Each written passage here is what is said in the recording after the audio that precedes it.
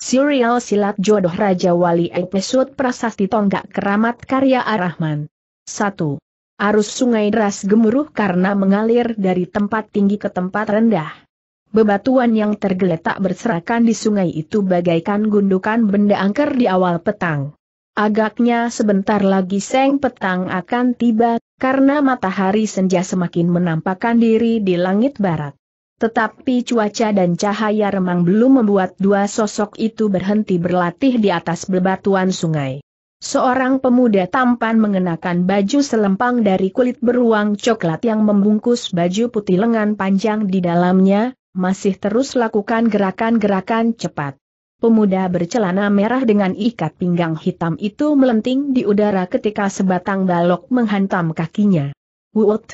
Kemudian balok itu disodokkan ke atas oleh seorang gadis cantik berpakaian merah jambu. Sodokan itu membuat tubuh si pemuda tampan nyaris menjadi sasaran ujung kayu balok itu kalau saja tangannya yang buntung sebatas siku itu tidak segera menahan ujung balok tersebut. Ujung tangan yang buntung itu bagal menyentak menghantam ujung balok dengan kuatnya. Kraak! Kayu balok jati itu pecah memandang menjadi empat bagian. Kejap berikutnya ketika pemuda bertangan buntung satu itu berdiri dengan tegak, empat pecahan kayu balok itu dilemparkan lurus ke arah dadanya. Keempat patahan kayu balok itu dilemparkan lurus ke arah dadanya. Keempat pecahan kayu balok itu segera dihantam dengan tangan buntungnya dalam satu gerakan berkelebat cepat. Wut! Praas! Keempat belahan kayu itu hancur remuk men jadi seratan-seratan tipis. Pemuda bertangan buntung tak lain adalah pendekar Raja Wali Merah itu segera bersalto ke belakang, karena gadis cantik itu lemparkan sebongkah batu besar memakai ayunan kakinya. Wut!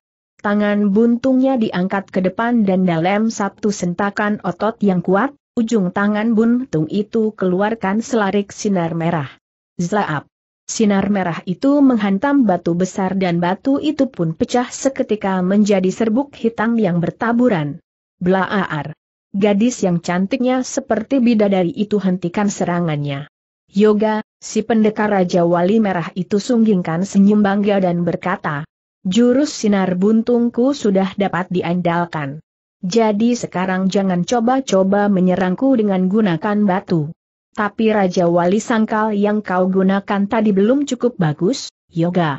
Kayu balok itu mestinya pecah menjadi sepuluh belahan, tapi mengapa hanya menjadi empat itu tandanya kau kurang bisa kendalikan napas kirimu dengan baik. Harus kau latih lagi itu, Yo. Ya. Baik, Guru Li. Akan latih lagi pengendalian napas kiriku. Besok pagi ku harap kau sudah bisa pecahkan kayu balok itu menjadi sepuluh belahan. Besok. Tapi, Guru Li. Muus. Guru Li, yang sebenarnya adalah Li.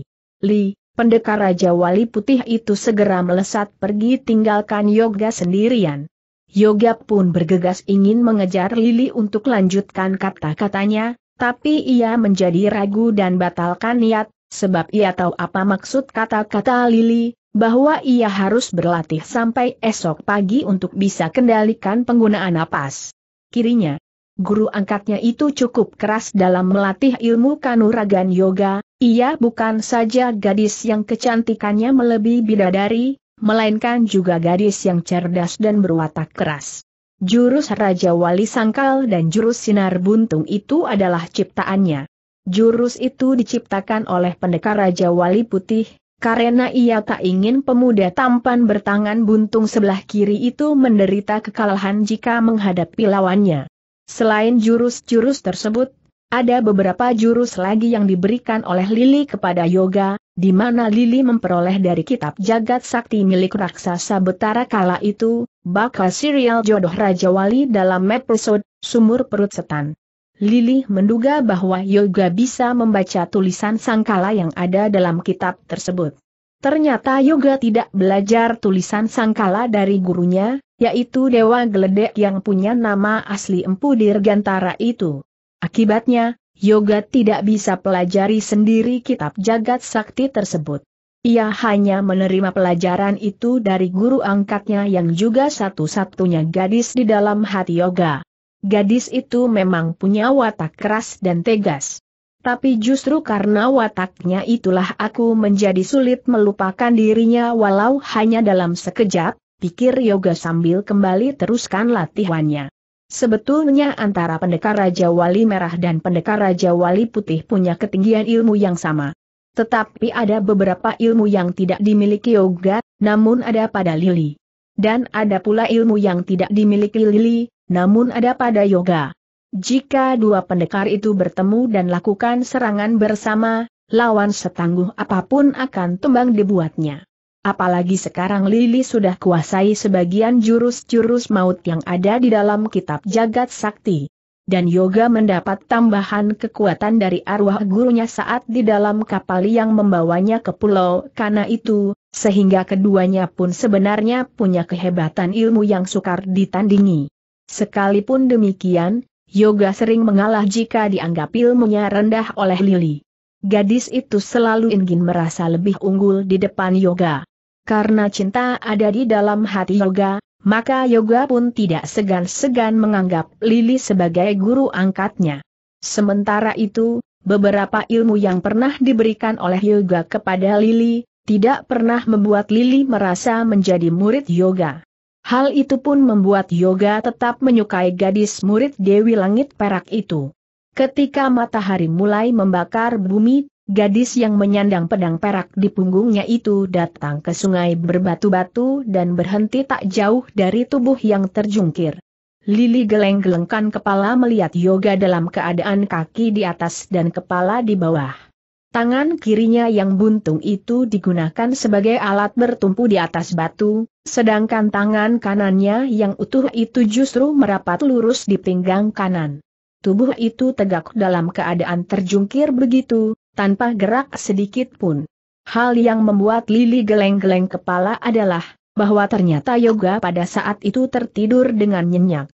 Mungkin karena kecapekan berlatih mengendalikan napas kirinya, sehingga Yoga tidur dalam keadaan berjungkir batik begitu dengan tangan buntungnya yang dipakai menyangga tubuhnya. Tentu saja jika bukan berilmu tinggi, tak mungkin tidur dalam keadaan seperti itu bisa dilakukan. Untuk membangunkan pendekar Raja Wali Mirah yang tertidur, Lili segera lemparkan sebongkah batu sebesar gentong ke arah Yoga. Batu itu tidak diangkatnya, melainkan dihempaskan dengan gerakan tan gan menghentak yang mengeluarkan tenaga angin cukup kuat. Wut! Batu itu pun melayang dengan cepat ke arah Yoga. Tiga langkah sebelum batu itu menyentuh tubuh Yoga, pemuda tampan itu terbangun karena rasakan hembusan angin yang datang ke arahnya. Begitu melihat sebongkah batu melayang hendak menghancurkan tubuhnya, tangan buntung itu menyentak pelan dan tubuh Yoga cepat bersalto, lalu dengan kaki kanan bertumpu pada tanah dan kaki kirinya masih menapak, batu itu disodoknya dengan tangan buntungnya itu. Des. Proos. Batu sebesar gentong pecah menjadi serapihan kecil. Kekuatan sodok itu cukup besar menurut penilaian Lili. Tetapi gadis itu segera melemparkan sebatang potion kelapa yang telah tumbang. Ia melemparkannya dengan kaki kanan, dan batang kelapa itu meluncur cepat hendak menghantam Yoga. Namun kembali tangan buntung Yoga menyodok ujung batang kelapa tersebut. Duup. Beras. Batang kelapa itu pecah terbelah menjadi 20 bagian. Yoga tersenyum kepada guru angkatnya. Rupanya sang guru angkat masih belum puas. Ketika ia temukan kayu gelondongan dari pohon jati yang tumbang, ia kembali lemparkan kayu balok jati itu. Namun Yoga berhasil sodok kembali ujung kayu itu, sehingga menjadi pecah terbelah. Jumlah belahannya ada 23 belahan. Bagaimana menurutmu, Guruli? Apakah aku belum cukup mampu kendalikan napas kiriku untuk jurus Raja Wali Sangkal? Seharusnya kau buat kayu jati itu menjadi serapihan lembut dalam satu kali sodok kata Lili sambil melangkah tenang mendekati murid angkatnya. Yoga menghempaskan napas dan geleng-geleng kepala. Dia memang tidak pernah mau memujiku. Selalu saja aku dianggapnya kurang hebat. Ah, dasar perempuan keras kepala, tak mungkin ia mau akui kelebihan dan kehebatanku. kalau bukan karena ia menyimpan cinta lebih besar padaku, tak mungkin ia mau meremehkan kehebatanku pikir Yoga sambil pandangi gadis itu bergerak mendekat. Istirahatlah, kata Lili, kali ini memandang dengan lembut. Pertengahan siang nanti kita berangkat menemui Resi Gumarang. Yoga sempat menjadi sedikit heran dan bertanya, untuk apa menemui Resi Gumarang? Kau tidak kenal dengannya. Aku yang pernah bertemu dengan sahabat yang guru Dewa Geledek itu. Kau pernah cerita padaku tentang beliau. Bukankah kau pernah bilang bahwa beliau bisa meramal nasib seseorang?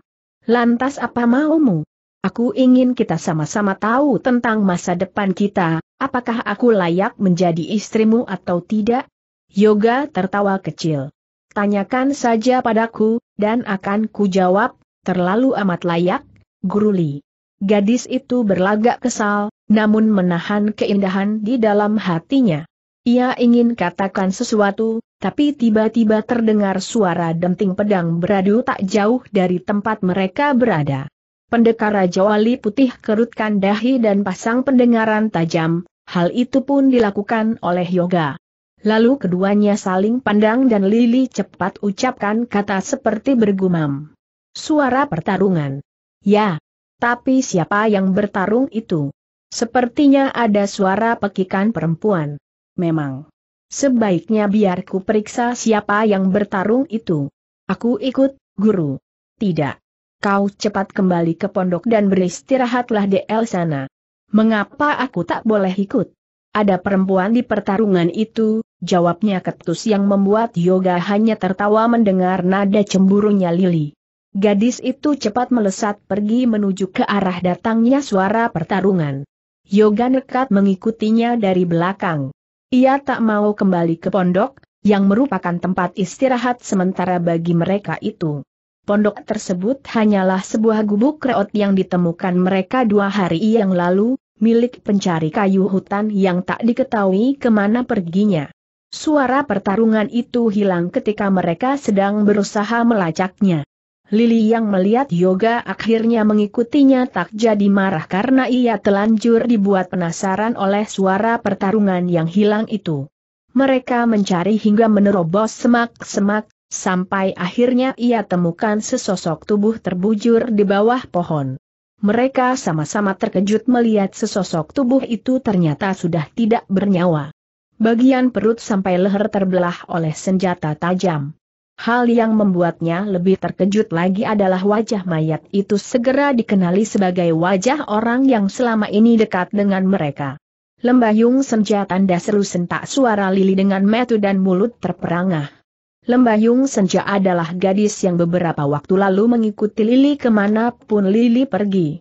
Lembayung Senja bekas murid perguruan belalang liar yang sudah hancur itu, dan ia amat mengagumi jurus. Jurusnya Lili, sehingga berteman baik dengan Lili dan Gan harapan dapat mempelajari jurus-jurus Lili, bakal serial jodoh Raja Wali dalam episode Misteri Topeng Merah dan Ratu Kembang Mayat. Tentu saja hati pendekar Raja Wali Putih menjadi panas melihat teman dekatnya mati terbunuh dalam keadaan mengerikan begitu. Yoga pun menahan kemarahan sebab Yoga juga teman baik Lembayung Senja. Siapa pembunuhnya geram Lili dengan napas tertahan dan mata menyipit dendam memandang ke arah sekeliling. Seharusnya ia ada di pondoknya si tua usil tambah Yoga. Sorot mata Lili yang memancarkan dendam kemarahan itu menemukan sesosok tubuh bersembunyi di balik pohon. Bayangannya terlihat jatuh di tanah datar. Serta merta Lili sentakan tangannya dan menghancurkan pohon itu dengan sinar putih keperakan yang melesat dari telapak kirinya. Klaap! Blaar! Yoga kaget melihat apa yang dilakukan Lili. Lebih terkejut lagi melihat sesosok tubuh terpental keluar dari balik pohon tersebut. Wut! Brus! Orang itu jatuh di semak-semak dalam keadaan terbanting menyedihkan. Lili segera mengejar ke semak-semak, lalu meraih lengan orang itu dan melemparkannya seperti melemparkan boneka saja. WRRR. Buuh. Auh orang itu menyeringai kesakitan, jatuh di el depan kaki Yoga. Kalau Yoga mau, sekali injak orang itu pasti mati. Tapi Yoga punya firasat lain, sehingga ia tak mau lakukan apa-apa kepada orang bertubuh sedikit kurus itu. Bangun sentak Lili yang menghampiri lelaki bercelana abu-abu dengan rompi merah kumal. Iya ye, iya, saya akan bangun. Cep, tapi jangan lemparkan saya lagi seperti tadi. Jangan sakiti saya, Chuan dan Nyonya. Rupanya lelaki itu sudah cukup umur. Usianya sekitar 50 tahun, mungkin juga lebih. Sebab rambutnya sudah tumbuh uban dan membuat rambut itu menjadi abu-abu, campuran uban dengan rambut hitam. Potongan rambutnya lucu, seperti tempurung separuh lingkaran, berponi rata sebatas dahi sampai ke bagian belakangnya. Lelaki itu punya mata bundar dan wajah tolol. Hidungnya sedikit bulat, tanpa kumis dan jenggot kulitnya cenderung hitam dengan kulit wajah tampak bekas jerawat masa mudanya. Ukuran tubuhnya pun tak seberapa tinggi, tapi juga tidak termasuk cebol. Ia kenakan ikat pinggang dari kain hitam, namun tidak terlihat membawa senjata apa pun. Ketika ia dipandangi oleh Yoga dan Lili, ia tampak ketakutan, namun mencoba untuk tersenyum ramah, sehingga wajah itu menjadi tak beraturan rautnya. Ketika Yoga dan Lili mengelilinginya pelan-pelan, lelaki itu ikut memutar tubuh pelan-pelan dengan kaki gemetaran. Siapa kau tanya Yoga dengan suara tidak terlalu membentak. Nam, nam, nam. Tanda petik. Blook. Lili menamparnya karena jengkel dan tak sabar. Lelaki yang lebih pendek dari Lili itu tersentak ke samping. Kemudian ia melintangkan tangannya ke depan, menghadang agar tak ditampar lagi sambil berkata penuh rasa takut. Ja, ja, jangan tampar saya. Saya tidak bersalah tanda seru. Sebutkan namamu. Jangan hanya bisa nam-nam saja.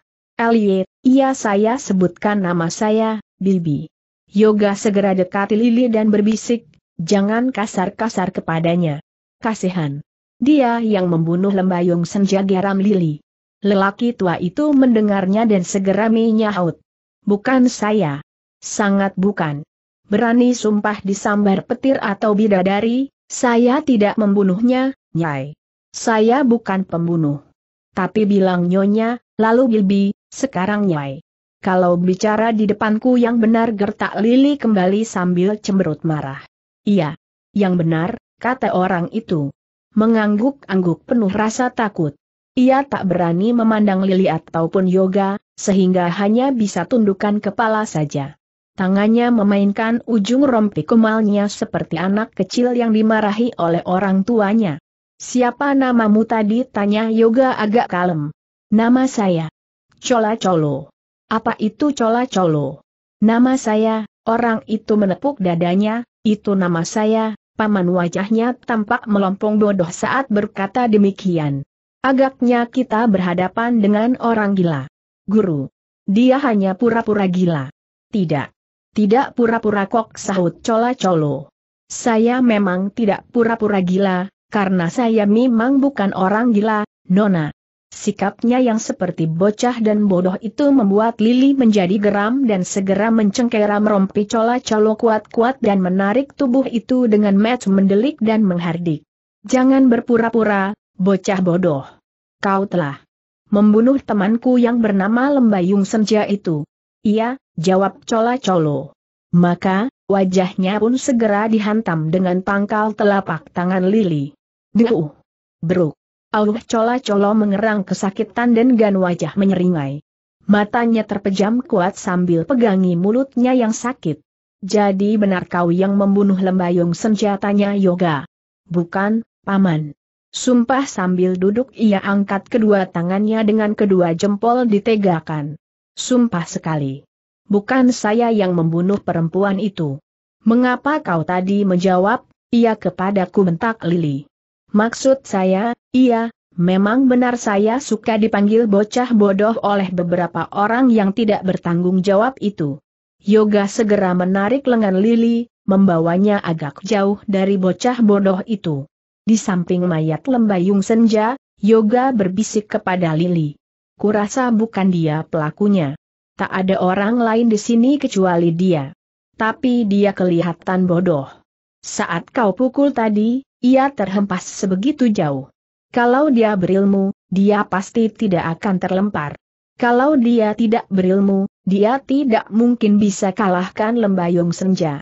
Kulihat dia juga tidak membawa senjata apa-apa. Lantas siapa lagi orangnya kalau bukan dia yang membunuh lembayung senja? Untuk apa dia ada di sini jika memang dia tidak bertarung melawan lembayung senja? Mungkin dia punya teman, dan temannya itu yang melakukannya. Kalau begitu, akan kupaksa dia supaya mulutnya berkata jujur. Jangan, guru. Biar aku saja yang mengorek keterangan darinya. Kau terlalu mengumbar kemarahan. Kalau dia tidak bersalah, kasihan dia sudah kau buat kesakitan terus. Hah Lili menghempaskan napas kesal. Bicaralah sana. Akhirnya Lili mengalah sambil wajahnya masih cemberut bercampur sedih. Ia kembali memeriksa mayat lembayung senja, Sementara itu Yoga mendekati bocah bodoh yang masih dam di situ tak mau larikan diri. Bocah bodoh itu ketakutan ketika Yoga mendekat. Ia merapatkan tubuh dengan pohon berakar pipih setinggi pundaknya. Kemari kau perintah Yoga dengan tegas. Bocah bodoh geleng-gelengkan kepala. Bahkan berkata, takut. Aku tak akan menyakitimu. Kemarilah. Akhirnya bocah bodoh itu mendekat dengan masih pandangi Yoga penuh rasa takut, kalau tiba-tiba dihantam oleh Yoga. Yoga pun segera bersikap kalem dan bertanya. Benarkah bukan kamu yang membunuh temen kami itu? Cola-colo, si bocah bodoh itu, kembali gelengkan kepala dengan mulut melongo. Pasti temanmu yang melakukannya bocah bodoh geleng kepala lagi. Lalu siapa kalau bukan kau dan bukan temanmu? Tidak tahu. Apa kerjamu di balik pohon tadi? Saya takut melihat mayat itu. Lalu saya sembunyi. Lalu kalian datang. Setelah itu saya diserang. Saya sedih, mengapa saya disakiti orang? Padahal ibu berpesan saya tak boleh sakiti orang, tapi mengapa orang sakiti saya bocah bodoh tundukan kepala dengan wajah menyedihkan. Sudah lamakah sembunyi di balik pohon itu belum? Saya dengar suara orang berteriak. Ja. Lan saya jadi belok kemari. Saya lihat mayat itu sudah tergeletak. Saya takut mayat itu bangkit dan menyerang saya. Saya sembunyi di tanda petik. Ya, ya, ya, aku sudah dengar penjelasanmu yang itu. Terima kasih, kata bocah bodoh sambil kembali tundukkan wajah. Yoga memperhatikan beberapa saat, Lili pun memandanginya dari tempat mayat Lembayung Senja tergeletak. Kemudian Yoga bertanya kepada bocah bodoh. Siapa ibumu? Nyai Sembur Maut, jawab bocah bodoh. Tokoh sakti yang pernah kudengar namanya. Dalam percakapan di sebuah kedai, sahut Lili dengan jelas. Bocah bodoh menimpali. Iya. Benar. Ibu adalah tokoh sakti. Saya ditugaskan oleh ibu untuk mencari prasasti tonggak keramat di lembah maut. Tapi saya bingung di mana letak lembah maut itu. Lalu, dalam perjalanan saya mendengar suara orang bertarung, saya belok kemari, saya melihat ada mayat, saya sembunyi di pohon karina saya. Tanda petik. Cukup, cukup potong yoga yang merasa bosan mendengar penjelasan yang diulang-ulang itu. Apa itu prasasti tonggak keramat tanya Lili, kini ia dekati bocah bodoh yang sebenarnya sudah cukup umur itu. Prasasti tonggak keramat adalah tugu dari batu berukuran sebatas perut saya. Tugu itu ada telapak tangan guru ibu saya, dan tugu itu namanya tonggak. Tonggak itu adalah prasasti peninggalan mendiang gurunya ibu dan tanda petik. Cukup sentak Lili. Bicaramu melingkar-lingkar tak karuan, memusingkan kepala. Iya. Pusing juga saya jadinya. Aduh, bocah bodoh geleng-geleng kepala, seakan ikut bingung senin diri memikirkan perkataannya. Pada waktu itu, sekelebat bayangan datang menerabas semak. Bayang itu tak lain milik seorang lelaki tua, gigi kanannya ompong satu, rambutnya putih tipis, kumisnya juga putih tipis, pakaiannya coklat muda. Orang tua itu terengah-engah, dan ketika melihat mayat Lembayung Senja, ia terperanjat kaget dan berseru. Lembayung Senja tanda seru. Oh, kenapa dia? Kena. Pa, mati, jawab bocah bodoh yang belum tahu. Siapa orang itu? kau yang membunuhnya bentak orang tersebut yang tak lain adalah si tua usil. Kamu tua-tua bisanya cuma menuduh orang. Tanyakan sama paman dan bibi itu sentak bocah bodoh. Siapa pembunuhnya, nonali wajah tua usil, si manusia, kabut itu menjadi sedih. Yoga menjelaskan perkara sebenarnya, Lalu tua usil bercerita tentang kerinduan Lembayung Senja yang lama ditinggalkan oleh Lili dan Yoga. Lembayung Senja bermaksud mencari dua pendekar Raja Wali itu. Tapi tak disangka nasibnya menjadi seperti itu. Tua usil hampir menangis memandangi mayat Lembayung Senja. Pada saat Yoga dan Lili mendengarkan cerita tua usil itulah, diam-diam bocah bodoh pergi dari mereka. Ketika mereka temukan bocah bodoh sudah hilang dari tempatnya, mereka terkejut. Tua usil segera berkata, Aku yakin, dialah pembunuhnya, Nonali tidak. Bukan dia pembunuhnya kata Yoga. Sambil termenung. Dia hanya bocah tua yang bodoh dan ditugaskan mencari prasasti tonggak keramat. Apa itu prasasti tonggak keramat tanya si tua usil. Itulah yang perlu kita ketahui. Aku lebih tertarik dengan prasasti tersebut kata Yoga. Lantas, bagaimana dengan mayat lembayung senjatanya tua usil dengan nada bingung. Kuburkan dia, kata Lili. Setelah itu, ikutlah mengejar bocah bodoh itu. Aku masih curiga padanya. Sayakah yang harus menguburkan mayat lembayung senja ini, Nonali? Ya, kamu jawab Lili dengan tegas dan matanya memandang tajam karena masih menahan marah atas kematian temannya itu. Kuburkanlah, jangan banyak tanya.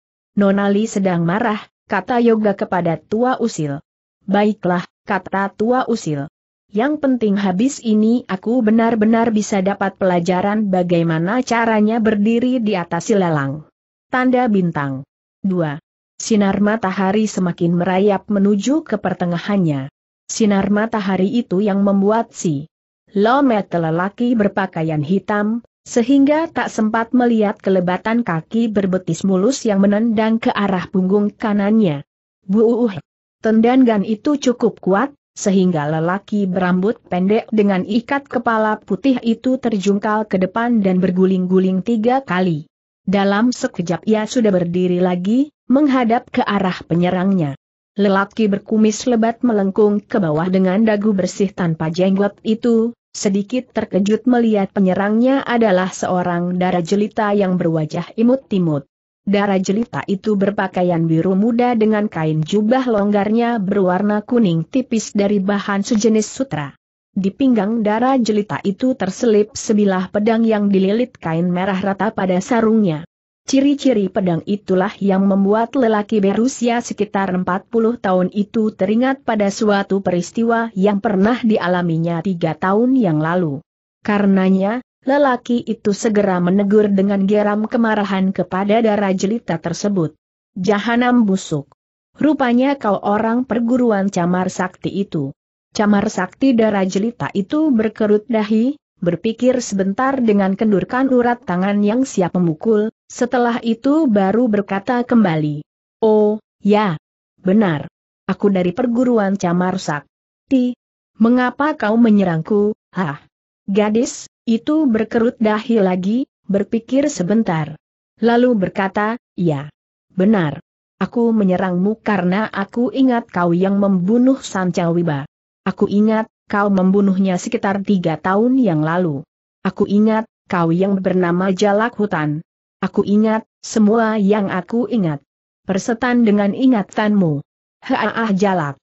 Hutan segera melompat dalam satu serangan kaki yang siap menghancurkan kepala darah jelita itu. Tetapi, tangan halus berkulit putih bersih itu menangkisnya dengan telapak tangan terbuka. Plak, Lalu telapak kaki yang membentur telapak tangannya itu didorong dengan gerakan tak terlalu keras. W.S. Tetapi hasilnya sangat di luar dugaan.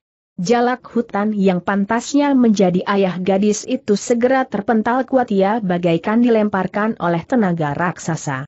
Tubuhnya melayang dengan cepat dan membentur sebatang pohon berdahan pendek. Buuh!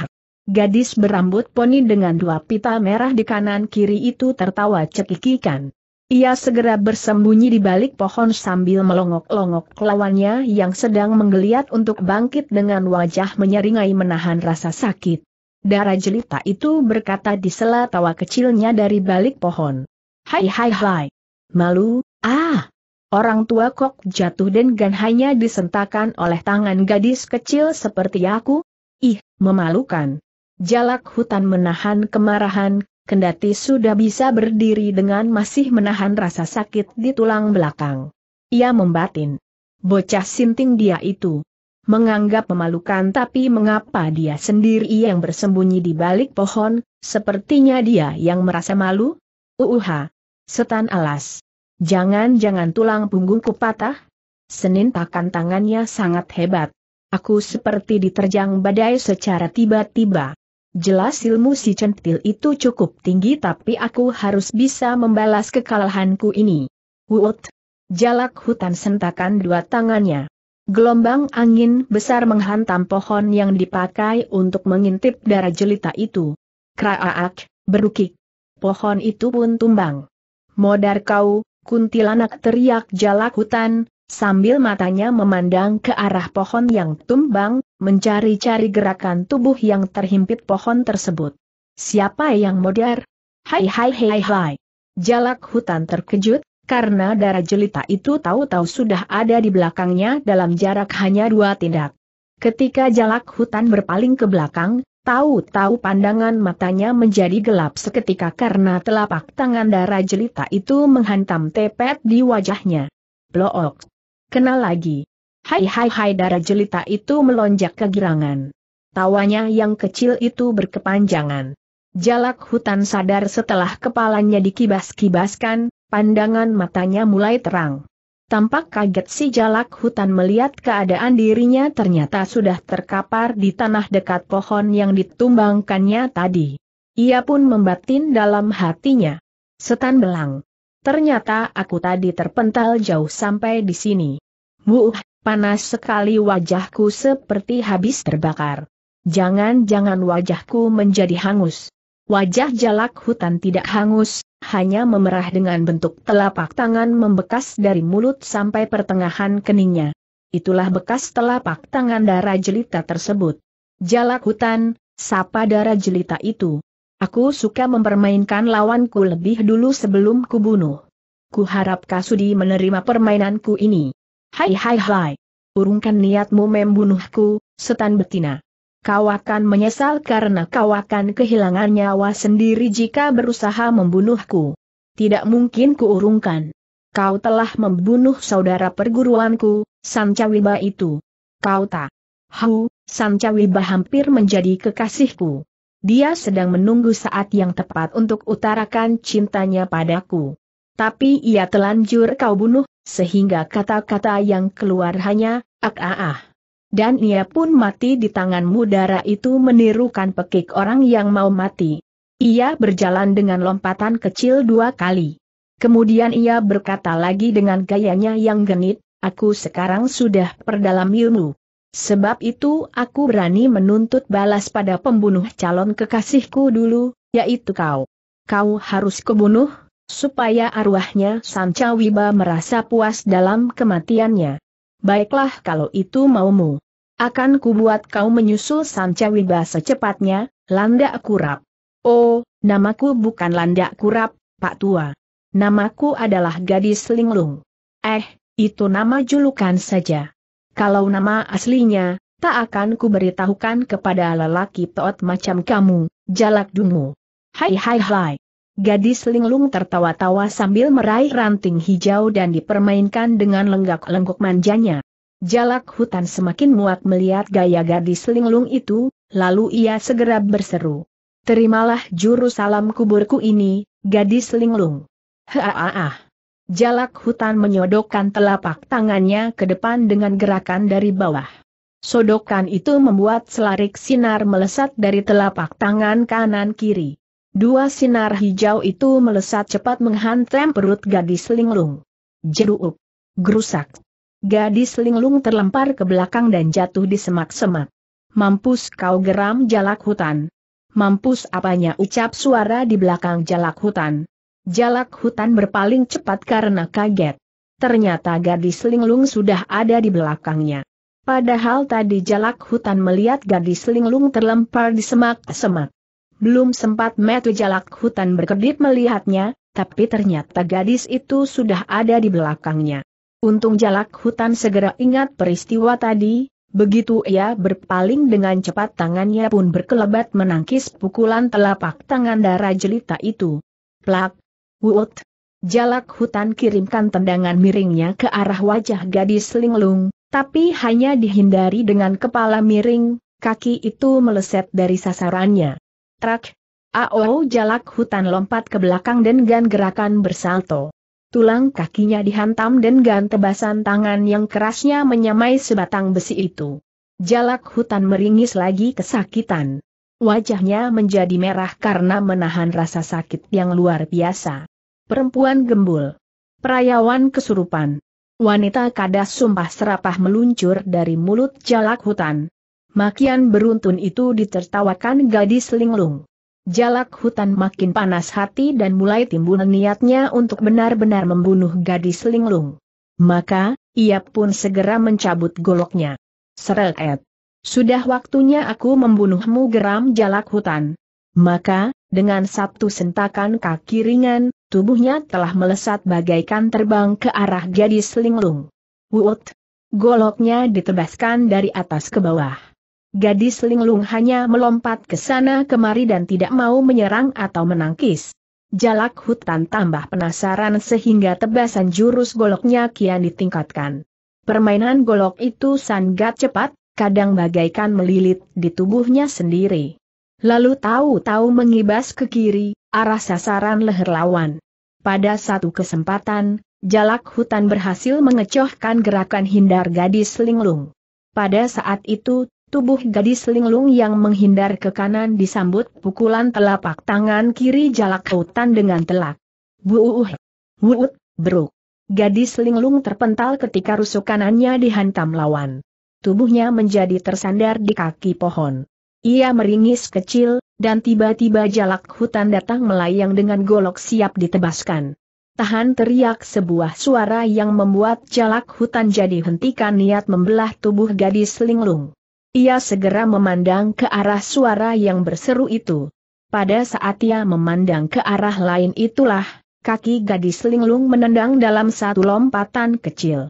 Duh! Dagu jalak hutan terkena tem dan gan. Bukan hanya kepalanya saja yang terdongak, tapi tubuhnya terpental ke belakang. Seret. Gadis linglung mencabut pedangnya. Ketika tangannya bergerak naik untuk menebaskan pedang ke arah jalak hutan, tahu-tahu sebutir batu melesat menghantam punggung tangannya. T.S.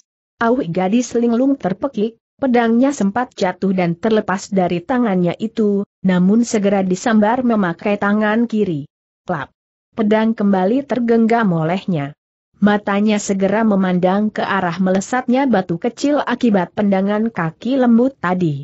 Di sana telah berdiri pemuda tampan yang mengejutkan hati gadis linglung, dan seorang darah ayu seusia dengannya. Mereka tak lain adalah Yoga dan Lili, sementara di belakangnya berdiri si tua usil. Maaf, aku bukan ingin mencampuri urusanmu, jalak hutan. Aku hanya ingin tanyakan seseorang yang berambut abu-abu. Apakah kau melihat dia lewat kemari? Tanya pendekar Raja Wali Merah. Tidak, jawab jalak hutan. Sebaiknya segeralah pergi, aku ingin bunuh gadis itu. Tunggu. Jangan pergi dulu ucap gadis Linglung tiba-tiba dengan mata tak berkedip memandangi Yoga.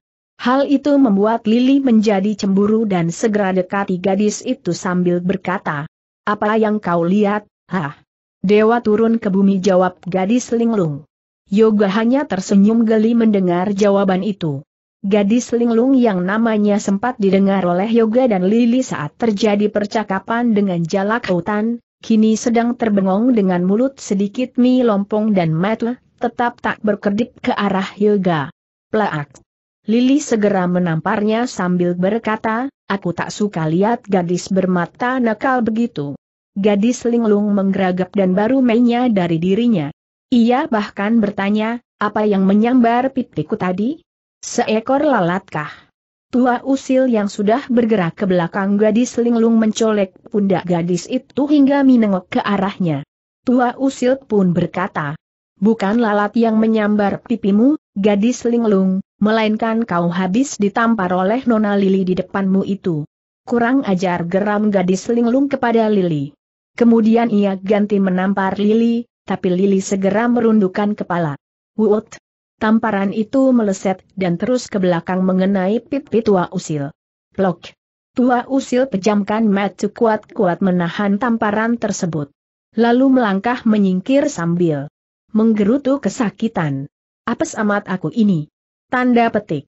Yoga tertawa geli, lalu segera dekati Lili dan menarik pelan lengan Lili sambil berkata, Sudahlah. Kita pergi saja. Jangan terlibat terlalu dalam.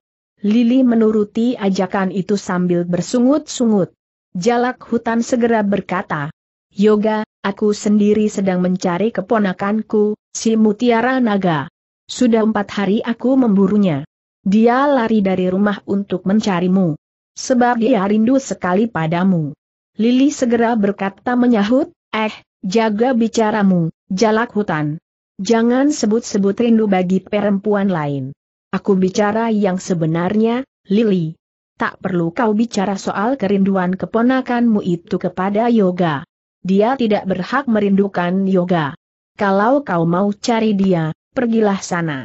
Cari dia sampai ketemu dan kasih tahu agar jangan punya rindu pada Yoga. Guru, sudahlah bujuk Yoga pelan. Hihi hai hai gadis linglung tertawa. Dewa tampan itu memanggilmu guru. Apa tak salah? Wut! Kaki Lili menendang miring. Hampir saja kenai kepala gadis itu karena kecepatannya nyaris tak tertangkap mata gadis linglung. Beruntung gerakan kepala yang miring pun cepat dilakukan oleh gadis linglung, sehingga tendangan itu tidak kenai sasaran. Gadis linglung, kata jalak hutan. Terpaksa urusan kita ditunda dulu sampai di sini. Aku harus kerjakan sesuatu yang lebih penting lagi. Kalau kau masih penasaran padaku, datanglah ke pondokku. Akan kulayani dendamu. Wut! Tanpa menunggu jawaban dari gadis linglung atau dari siapa pun, jalak hutan sentakan kaki dan melompat pergi tinggalkan tempat tersebut. Kau tak ingin mengejarnya pancing lili supaya matu gadis linglung tidak tertuju pada yoga lagi. Kupikir ada benarnya kata-kata jalak hutan. Aku sendiri punya urusan yang lebih penting sebelum membunuhnya. Kita pergi sekarang juga, Yo Lili dan Yoga segera bergerak, tua usil mengikutinya sambil masih usap-usap pipinya yang panas akibat kena tamparan gadis linglung tadi. Namun, tiba-tiba gadis linglung berseru. Tunggu sebentar. Aku ingin tanya kepada kalian, tahukah kalian jalan menuju lembah maut? Lili dan Yoga saling pandang, karena mereka ingat kata-kata bocah bodoh tentang prasasti di lembah maut itu. Lalu, Yoga segera ajukan tanya kepada gadis linglung. Untuk apa kau mau ke sana? Untuk, untuk gadis linglung tertegun bengong, memikirkan sesuatu yang lupa diingatnya. Iya, iya. Untuk apa aku ke sana? Ya, ampun, kenapa aku jadi lupa tujuanku semula? Setan. Ini pasti gara-gara bertemu dengan jalak hutan itu, rencanaku jadi lupa sekali.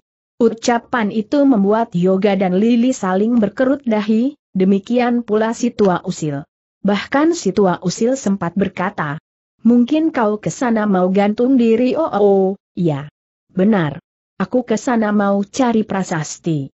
Tonggak keramat kata gadis linglung yang membuat si tua usil bersungut-sungut dan menggerutu. Apa hubungannya kata-kata gantung diri dengan prasasti tonggak keramat? Uuha, dasar gadis. Edan. Yoga segera berkata, gadis linglung, sayang. Sekali kami sendiri tidak tahu di mana letaknya lembah maut itu. Kami sendiri sedang mencari seseorang yang sedang menuju ke lembah maut. Tapi kalau boleh kami ingin tahu, ada apa dengan prasasti tonggak keramat di sana? Mengapa kau ingin mencari prasasti itu? Gadis itu manggut-manggut sambil berjalan mondar-mandir memikirkan sesuatu, setelah itu berhenti melangkah dan berkata, Entahlah. Aku lupa apa yang akan ku cari di sana. Tapi nanti pasti aku akan ingat kembali kalau sudah kutemukan prasasti itu. Selamat tinggal, Dewa Tampan Yoga. Klaap. Setan kucir geram Lili. Dia pikir hanya dirinya yang bisa hilang dalam sekejap begitu. Tak usah hiraukan dia, guru. Aku tidak suka dengan gadis itu gerutu Lili. Aku pun juga kata yoga tapi matanya men. Gedip kepada si tua usil. Manusia kabut itu hanya menyeringai geli dengan disembunyikan. Mendadak mereka dikejutkan oleh pekikan kecil di kejauhan. Sekalipun letaknya jauh, namun mereka mendengarnya dengan jelas. Suara lelaki menjerit kata tua usil kepada Yoga. Lili menyaut. Jangan-jangan si bocah bodoh, cola colo. Itu. Aku ingin memeriksanya, guru Yoga segera. Pergi lebih dulu, Lili pun akhirnya mengikuti Yoga bersama si tua usil. Mereka terkejut setelah mengetahui siapa yang menjerit tadi. Ternyata jalak hutan yang menjerit. Tapi sekarang ia sudah tak dapat menjerit lagi, karena sudah terkapar tak bernyawa dengan luka robek dari perut sampai ke lehernya. Tentu saja darah mengalir banjir di sekitar mayat jalak hutan.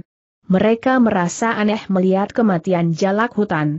Luka robek sama dengan luka robek yang ada di mayat lembayung senja. Lebih aneh lagi, mereka melihat bocah bodoh itu ada di dekat mayat tersebut, memperhatikan dengan mata tegang. Ketika Yoga datang bersama Lili dan tua usil, bocah bodoh itu segera gemetar ketakutan, wajah tuanya tampak pucat.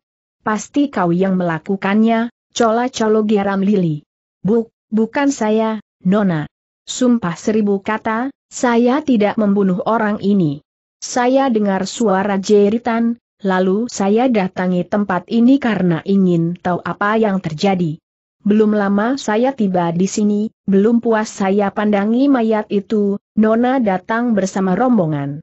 Saya, saya tak sempat lari bersembunyi omong kosong bentak Lili. Yang kutuntut. Bukan kematian orang ini, tapi kematian lembayung senja. Dua kali kematian seperti ini selalu kulihat dirimu ada di sini, Bocah bodoh Lili melangkah dengan mata memandang tajam. Bocah bodoh ketakutan sekali. Ia melangkah mundur, geleng-geleng kepala sambil berkata dengan suara gemetar.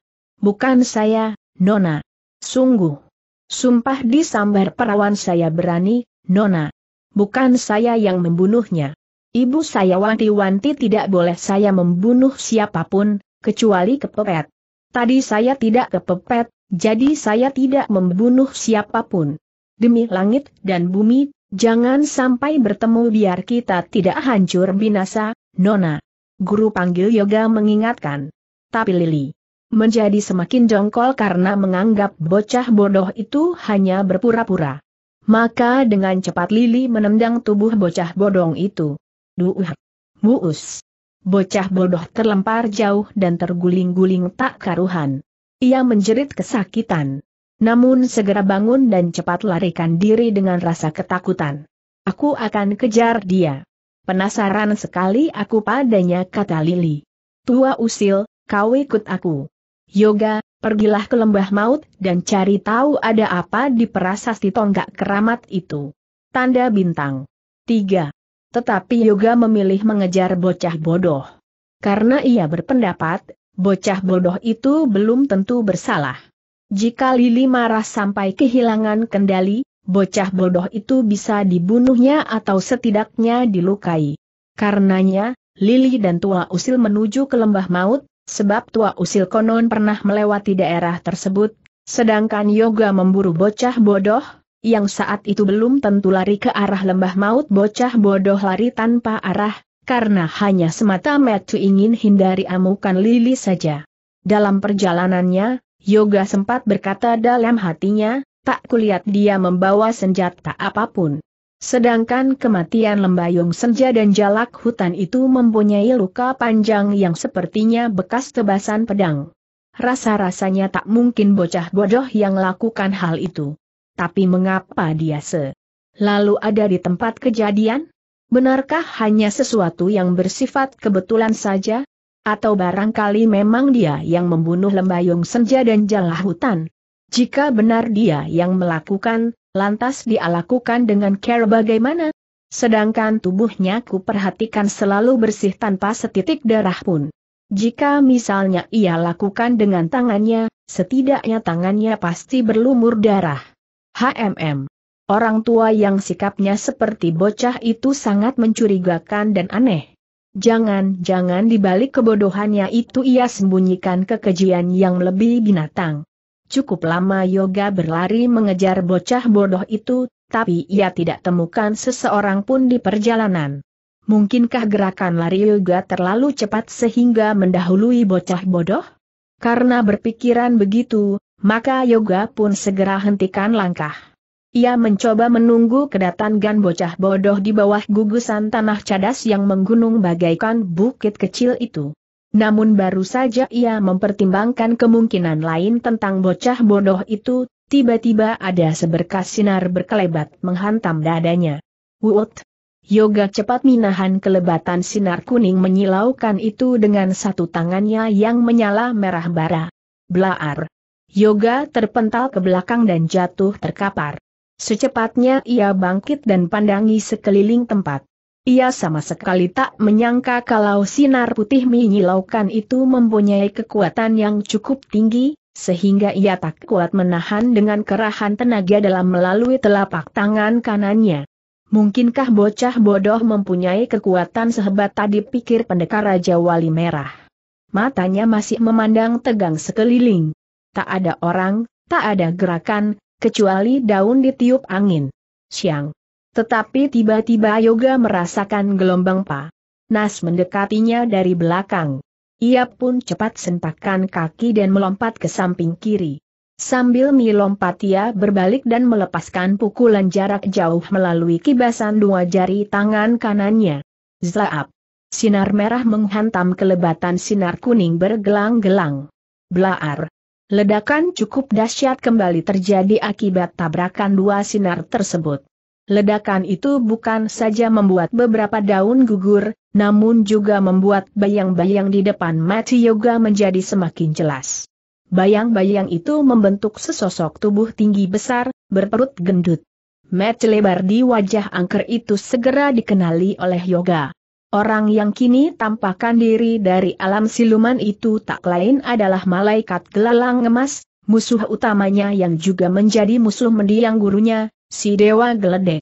Malaikat gelalang emas, tokoh sesat yang paling ditakuti untuk masa itu. Dengan baju abu-abu dan jubah hitam dilapisi kain merah satin pada tepiannya, sosok kesesatan hidupnya terlihat nyata. Rambutnya botak separoh, sisanya terurai panjang diikat dengan ikat kepala merah mempunyai simbol swastika di tenggahnya. Orang beralis mata, tebal ke atas itu menggeram penuh nafsu membunuh kepada pendekar Raja Wali Merah. Ia berkata tak bersahabat. Sekarang kau tak akan bisa lolos dari tanganku, kerbau buntung.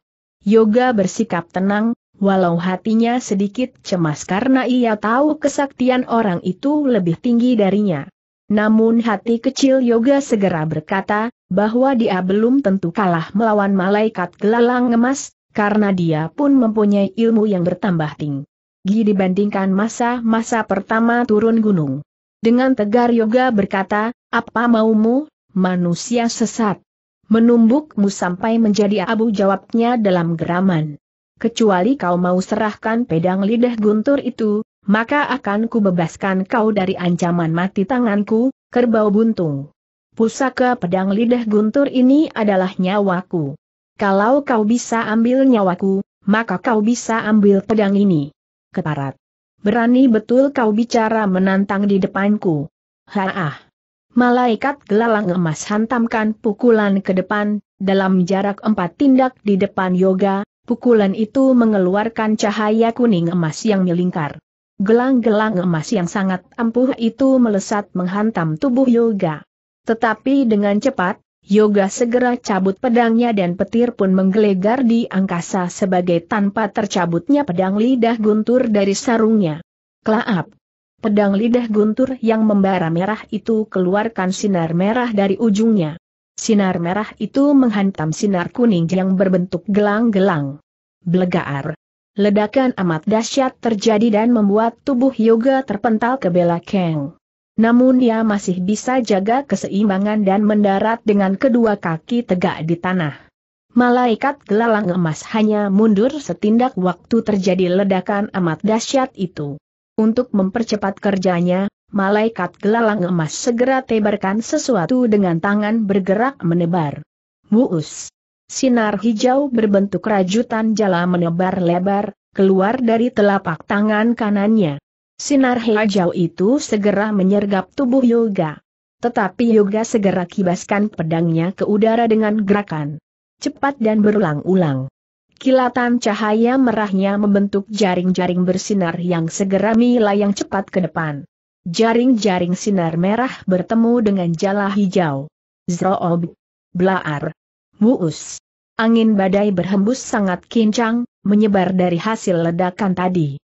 Tubuh Yoga semakin terlempar karena hembusan yang luar biasa kuatnya, hingga menumbangkan dua pohon besar jauh di belakang pendekar Raja Wali Merah. Beberapa bongkah batu cadas pun hancur remuk menjadi pasir putih kecoklatan. Sedangkan malaikat gelalang emas terhuyung-huyung ke belakang hampir jatuh tumbang. Ketika keduanya sama-sama berdiri, malaikat gelalang emas yang bertubuh seperti seekor gajah itu melesat bagaikan terbang ke arah Yoga.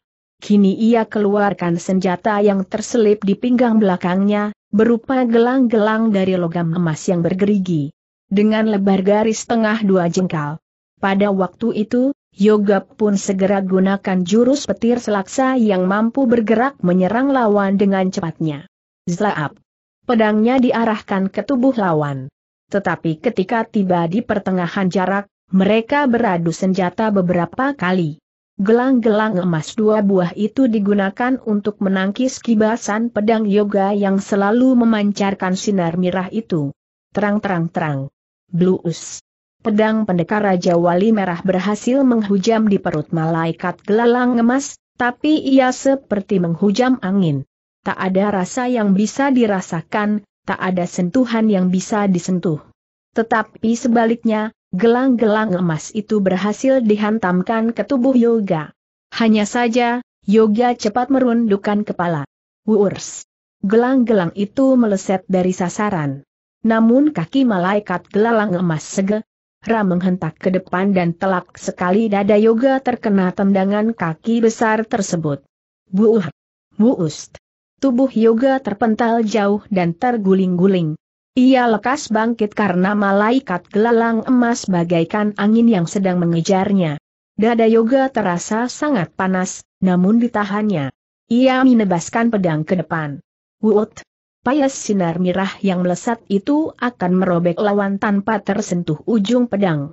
Tapi, kali ini sinar merah itu bagaikan merobek angin tanpa arti tubuh malaikat gelang emas masih menyerbu dalam gerakan seperti angin menghembus.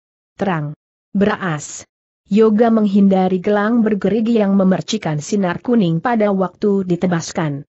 Lalu, minangkis gelang yang satu dengan pedangnya. Benturan dua senjata pusaka itu menimbulkan ledakan yang mementalkan tubuh Yoga. Blar! Pendekar Raja Wali Merah terbentur dinding teping bukit cadas kecil itu. Cukup keras benturan tersebut, sehingga membuat kepala Yoga terasa amat pusing celaka. Aku sama saja bertarung melawan bayangan pikir Yoga sebelum malaikat gelalang emas menyerangnya kembali.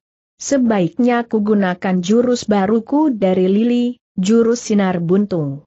Tangan kiri Yoga yang buntung sebatas sikut disentakan ke depan dengan tubuh sedikit meliuk ke kiri. Klaap! Selarik sinar merah melesat menghantam tubuh malaikat gelalang emas yang sedang bersiap melepaskan lemparan gelang-gelang emasnya. Blar! Tubuh malaikat gelalang emas terhempas ke belakang tiga tindak, tapi tak terluka sedikit pun. Bahkan sekarang ia bersiap untuk lemparkan senjata G. Lang bergerigi tersebut. Hentikan tiba-tiba sebuah suara berseru dari atas bukit kecil. Wut! Pemilik suara itu melompat dari atas bukit dan bersalto dua kali. Kemudian dengan sigap kakinya menapak tanah di depan Yoga, tepat menghadap malaikat gelalang emas yang membuat tokoh sesat sulit dilukai itu urung lemparkan senjatanya. Kencana ratih tanda seru desis yoga dengan rasa kaget melihat gadis keponakan leak parang itu sudah ada di depannya. Malaikat gelalang emas segera kendurkan murkanya dan pandangi kencana ratih. Gadis berbaju merah longgar yang bertubuh sekal itu juga menatap mata malaikat gelalang emas. Tatapan mata itu membuat malaikat gelalang emas menjadi bermata redup. Kian lama wajahnya kian menyimpan kesedihan, lalu mulutnya berucap kata. Asmarani tanda seru. Kaukah itu tanda seru dan menyebut nama itu lagi pikir yoga. Dulu juga dia pernah menjadi takut kepada Kencana Ratih dan menyebut nama Asmarani, bakal serial jodoh Raja Wali dalam episode Gerombolan Bidadari Sadis. Cepat-cepat senjata gelang-gelangnya disembunyikan di pinggang belakang. Malaikat gelalang emas undurkan langkah tiga tindak sambil masih memandang iba kepada Kencana Ratih, dan Kencana Ratih memandang penuh tantangan. Kejap berikutnya, malaikat gelalang emas terlihat balikan badan dan pergi, lalu menghilang dengan ilmu bayang silumannya itu. Sekali lagi kau mengganggunya, ku bunuh kau teriak Kencana Ratih seakan ia yakin betul bahwa malaikat gelalang emas mendengar suaranya. Kencana Ratih segera menghembuskan napas lega setelah malaikat gelalang emas pergi. Kemudian, ia segera balikan badan dan memandang Yoga yang sedang memasukkan pedang pusaka ke sarungnya. Serek. Ya, ucap gadis berlesung pipi itu dengan lembut. Ia segera hampiri Yoga, lalu memeluk pendekar tampan pemikat hati wanita itu. Aku rindu padamu, Yo bisikan Kencana Ratih semakin lembut. Yoga segera alihkan percakapan dengan bertanya, dia menyebutmu Asmarani? Siapa sebenarnya Asmarani itu? Apakah itu nama aslimu? Bukan, jawab Kencana Ratih sambil melepaskan pelukannya. Ia pandangi Yoga beberapa saat, sepertinya sedang melepas rindunya yang selama ini tertahan dan tak mampu lagi disembunyikan. Yoga sendiri menjadi kikuk menerima pelukan itu, dan kembali mengalihkan suasana dengan bertanya. Benarkah namamu bukan Asmarani sungguh, nama itu bukan namaku. Aku Per. Nah ceritakan pengalaman pertemuanku dengan malaikat gelalang emas kepada Paman Lea Parang. Kusebutkan pula nama Asmarani yang diucapkan malaikat gelalang emas itu lalu, Paman Leak Parang menjelaskan padaku, bahwa Asmarani adalah nama anaknya malaikat gelalang emas. Dan kau anaknya malaikat gelalang emas? Gadis itu sunggingkan senyum berlesung pipit yang amat digemari oleh hati Yoga. Namun Yoga minahan keindahan yang mendebarkan itu dengan tarikan napas lembutnya. Asmarani sudah meninggal, kata Kencana Ratih. Menurut Paman, wajah Asmarani memang serupa sekali dengan wajahku, potongan tubuhnya juga sama dengan potongan tubuhku. Tapi dia punya tahi lalat kecil di sudut metu kirinya. Anak itu mati akibat salah. Sasaran, terkena senjata ayahnya sendiri. Padahal malaikat gelalang emas sangat sayang kepada Asmarani, sehingga kematian Asmarani itu membuatnya menyesal sepanjang masa. Sekarang anak itu dimakamkan di bawah kerimbunan pohon jambu, di kaki bukit Serul Ing. Oh, oh, Yoga manggut-manggut. Jadi, dia bukan takut kepadamu, namun tak tega jika dia harus menyerangmu. Begitulah kira-kira. Tapi menurut dugaan pamen, malaikat gelalang emas selalu dihantui oleh roh anaknya sendiri yang seolah-olah ingin menuntut balas atas kematiannya. Kasihan dia sebenarnya, gumam yoga lirih. Tapi karena kencana ratih mendengarnya, maka ia menyaut. Lebih kasihan diriku, kenapa? Tersiksa rindu, jawab kencana ratih dengan pelan. Sahabat yang baik, wajar jika punya rindu ke pada sahabat yang jauh, kata Yoga di sela senyumannya yang amat dikagumi oleh kencana ratih serta beberapa gadis cantik lainnya itu. Aku tak mau lagi jauh darimu, Yo. Aku tak sanggup menahan rindu yang amat menyiksa itu. Aku harus selalu dekat denganmu, ke mana pun kau pergi, aku harus ikut, Yo. Urusanmu berbeda dengan urusanku, kencana ratih. Aku tidak peduli. Pokoknya aku harus selalu bersamamu. Aku tidak mau berpisah darimu, Yo. Kau tak boleh begitu. Kau tahu siapa aku, tentu kau akan sering merasa dongkol dan lebih tersiksa jika ke mana-mana selalu bersamaku, Kencana Ratih. Kenapa kau menolak kehadiranku DL hatimu, iyo? Kau, kau sepertinya benar-benar tak mau hiraukan diriku yang mencintaimu, yo? Karena, di hatiku sudah ada Lili, guru angkatku itu. HMMM. Lili ketus kencana ratih dengan cemberut, ia diam sambil membelakangi yoga. Pemuda tampan itu melangkah ke batu dan segera duduk di sana sambil tersenyum melihat kecemberutan kencana ratih. Lalu, gadis itu berpaling memandang Yoga dan berkata, Kalau kau mencintai Lili, kenapa kau tidak selalu bersamanya? Dia punya tugas lain, pergi ke lembah maut untuk selidiki ada apa dengan sebuah prasasti di sana yang bernama prasasti tonggak keramat. Lembah maut tanda seru gumam kencana ratih. Kalau begitu aku harus segera menyusulnya ke sana. Untuk apa yoga agak tegang? Akan ku tantang ia bertarung sampai mati. Ingin ku buktikan, siapa yang berhak mencintai kau, dia atau aku. Kencana ratih pergi pada saat yoga terperanjat kaget. Sebenarnya Yoga ingin mencegah, tapi ia lebih tertarik melihat sekelebat bayangan yang melintas di semak seberang. Yoga pun segera mengejar bayangan itu. Tanda bintang. 4. Bayangan yang dikejar Yoga menghilang dengan cepatnya. Yoga kehilangan jejak. Tapi firasatnya yang sering menjadi tajam itu, mengatakan bahwa ia harus ke arah barat. Pendekar Raja Wali Merah sering merasa heran pada dirinya. Sejak ia dalam keadaan tak sadar bagaikan mimpi ditemui bayangan gurunya, firasatnya menjadi tajam terhadap hal-hal yang di luar dugaannya. Kadang ia ingin menentang kata batin atau perintah hati nuraninya itu, tapi ia selalu tidak bisa melakukan tantangan itu. Dan yang repot lagi, ia selalu menjadi penasaran oleh firasatnya sendiri. Sebab itulah, Yoga menuruti apa kata hati nuraninya itu, bahwa ia harus melangkah ke arah barat. Padahal menurut perhitungan otaknya, tak mungkin bayangan yang tadi dilihatnya itu bergerak menuju ke barat, sebab arah barat merupakan hutan rimbun, sukar dicangkau kedalamannya, sedangkan arah utara maupun timur punya jalan yang lebih cepat untuk dilalui. Banyak gugusan batu yang bisa dipakai untuk bersembunyi. Ternyata firasatnya itu ingin menunjukkan sesuatu yang di luar dugaan yoga. Di balik semak-semak mati yoga melihat sebuah pedang tergeletak di tanah, bagian yang tajam berkelip karena pantulan sinar matahari. Meta pendekar Raja Wali Merah segera mengikuti arah pedang itu sampai ia temukan tangan seseorang yang terkulai tanpa gerak sedikit pun. Tangan itu agaknya tangan seorang perempuan, karena mempunyai jari yang lentik. Yoga semakin bergegas mendekatinya. Luar biasa terkejutnya Yoga setelah ia melihat seorang gadis tergeletak tanpa nyawa di balik semak-semak tersebut. Gadis itu mengenakan pita merah dalam ikatan rambutnya yang menjadi satu. Wajahnya lonjong, cantik, berhidung mancung. Ia mengenakan baju merah rompi rapat warna biru muda dengan sa. Buk putih. Gadis itu mati dalam keadaan luka panjang, dari perut sampai ke leher. Agaknya ia dibunuh dengan senjata tajam yang sama dengan nasib lembayung senja dan jalak hutan.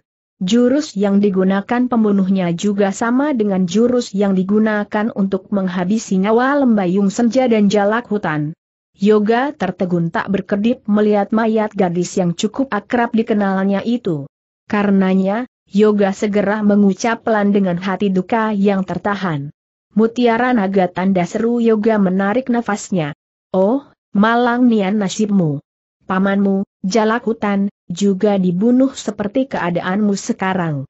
Tapi entah siapa yang lebih dulu dibunuh, kau atau pamanmu. Yang jelas, darahmu masih basah, ini pertanda belum terlalu lama kau dibunuh oleh seseorang. Siapakah orang itu, Mutiara Naga?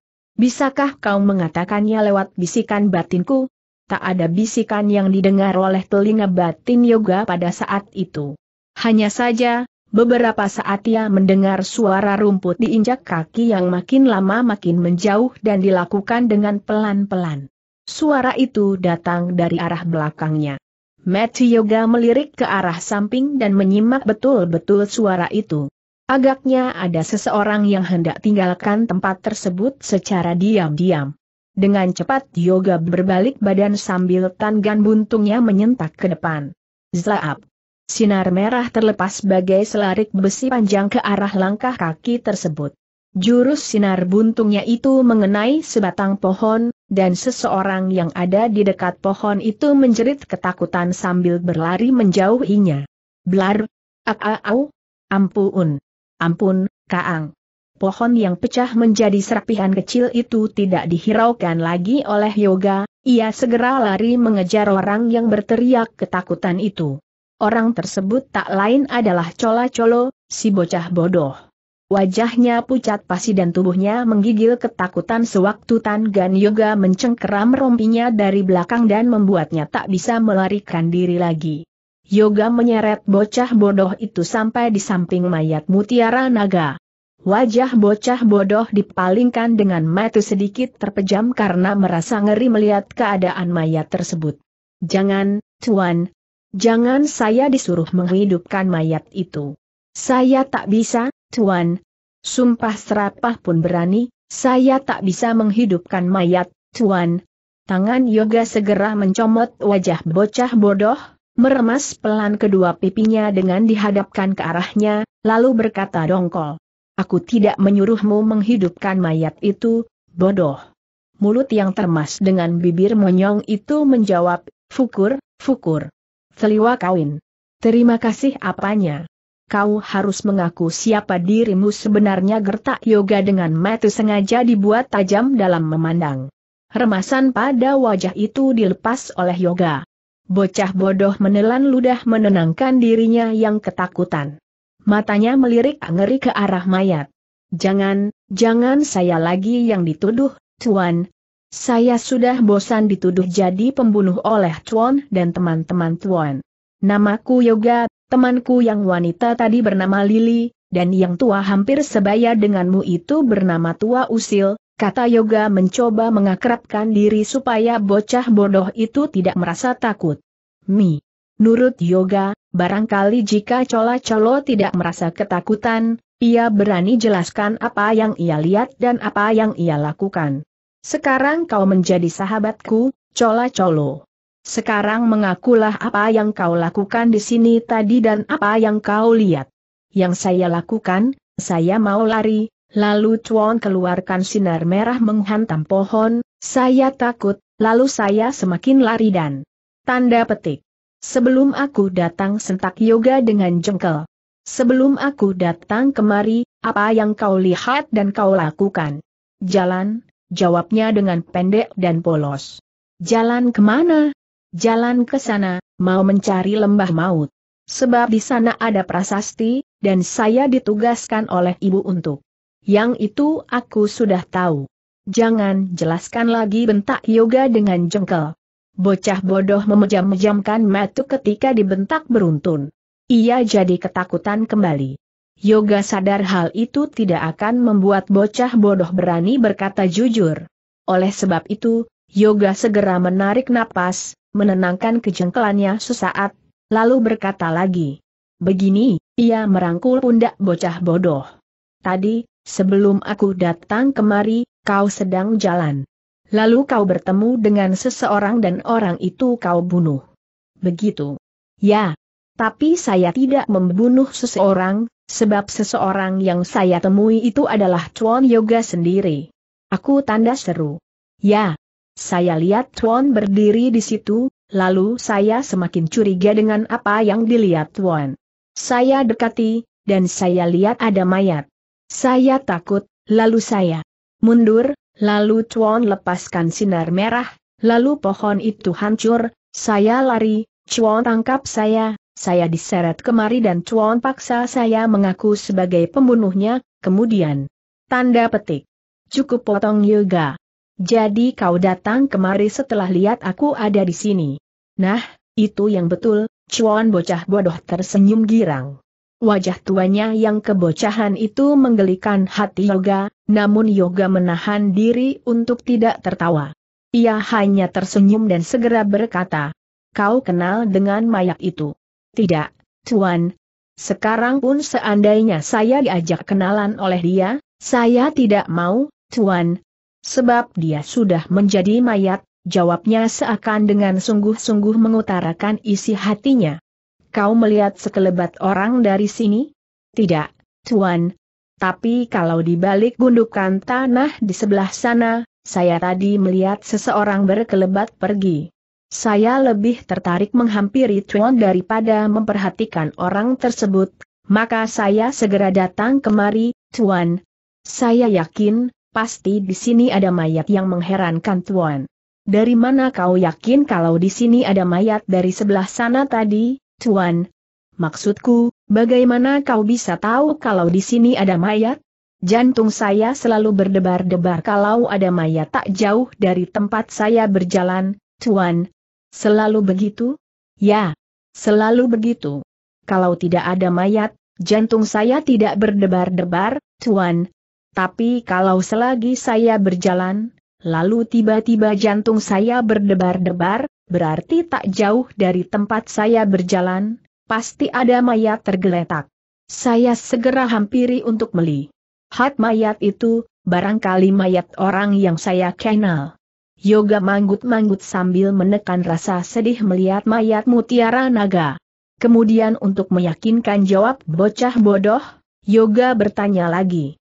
Mengapa jantungmu berdebar-debar jika ada mayat di sekitarmu? Saya punya ilmu getar jantung, Tuan, dari siapa ilmu itu kau peroleh? Dari ibu saya, Tuan, ibumu orang sakti. Bukan, Tuan. Ibu saya orang berilmu tinggi. Saya tak boleh menyombongkan diri dengan mengatakan ibu orang sakti, Tuan. Hening tercipta beberapa saat, karena Yoga tidak ajukan pertanyaan lagi kepada bocah bodoh, dan bocah bodoh itu tidak berani bicara sebelum ditanya. Ia masih merasa takut kepada Yoga. Saat itu, Yoga berlutut sambil memeriksa lebih teliti luka panjang yang diderita mayat mutiara naga itu. Hatinya sempat berkecamuk. Firasatku mengatakan, bocah bodoh berkata sejujurnya. Jadi, jika bukan dia, lantas siapa pembunuh mutiara naga itu? Mungkinkah gadis linglung itu? Kulihat dia mempunyai pedang di pinggangnya. Jika benar yang membunuh gadis linglung, lalu persoalan apa yang dihadapi gadis linglung terhadap mutiara naga, jalak hutan, dan lembayung senja? Jelas, jika terhadap jalak hutan dia punya dendam karena kematian saudara seperguruannya. Tapi haruskah dia juga membunuh mutiara naga? Haruskah dia membunuh lembayung senja? Dengan dada terasa sesak, Yoga menarik napas panjang-panjang sambil masih jongkok berlutut di samping mayat gadis yang sering merindukannya itu. Yoga terngiang kata-kata jalak hutan saat terakhir bertemu dengannya tadi, bahwa mutiara naga mencari-cari dirinya karena sangat rindu kepadanya. Alangkah menyedihkan nasib mutiara naga, mencari orang yang dirindukan, tapi yang ia temukan adalah kematian. Maafkan aku, Mutiara Naga, ucap batin Yoga kembali. Aku tidak bisa menerima cintamu, walau aku tahu kau mencintaiku, sama seperti Kencana Ratih, Mahligai, Sendang Suci, Lili, dan gadis-gadis lainnya. Kalau saja hatiku bisa menjelma menjadi seribu hati, mungkin aku rela memberikannya satu untukmu. Sayang sekali hatiku hanya satu dan sudah telanjur memiliki dan dimiliki oleh pendekar Raja Wali Putih itu. Jadi, mau tak mau aku harus menghindari kasihmu, daripada aku harus membalas dengan kepalsuan cinta. Namun sejujurnya ku katakan, bahwa aku senang bersahabat denganmu. Untuk memakamkan mayat mutiara naga, Yoga harus minta bantuan bocah bodoh. Ia segera bangkit dan menemui bocah bodoh. Tapi orang berusia banyak itu ternyata sudah tidak ada di tempatnya. Ia telah pergi entah ke arah mana. Meta pendekar Raja Wali Merah segera terpejam, ia ingin mengikuti kata firasatnya. Lalu ia temukan firasatnya berkata, bahwa ia harus melangkah ke utara. Maka ia pun melangkah ke sana, karena firasatnya berkata bahwa ke arah utara itulah bocah bodoh pergi meninggalkan dirinya. Sekali lagi apa yang ada dalam firasatnya itu memang terbukti benar. Bocah bodoh ada di sana, tapi kail ini ia sedang berhadapan dengan gadis linglung. Yoga menjadi tertarik untuk mengintai percakapan dan pertemuan mereka. Karena Yoga ingin tahu, ada hubungan apa antara bocah bodoh dengan gadis Lin. Glung yang cantik jelita itu? Gadis linglung mendekati bocah bodoh dengan mulut lancip, pertanda menahan kegemasan dalam hatinya.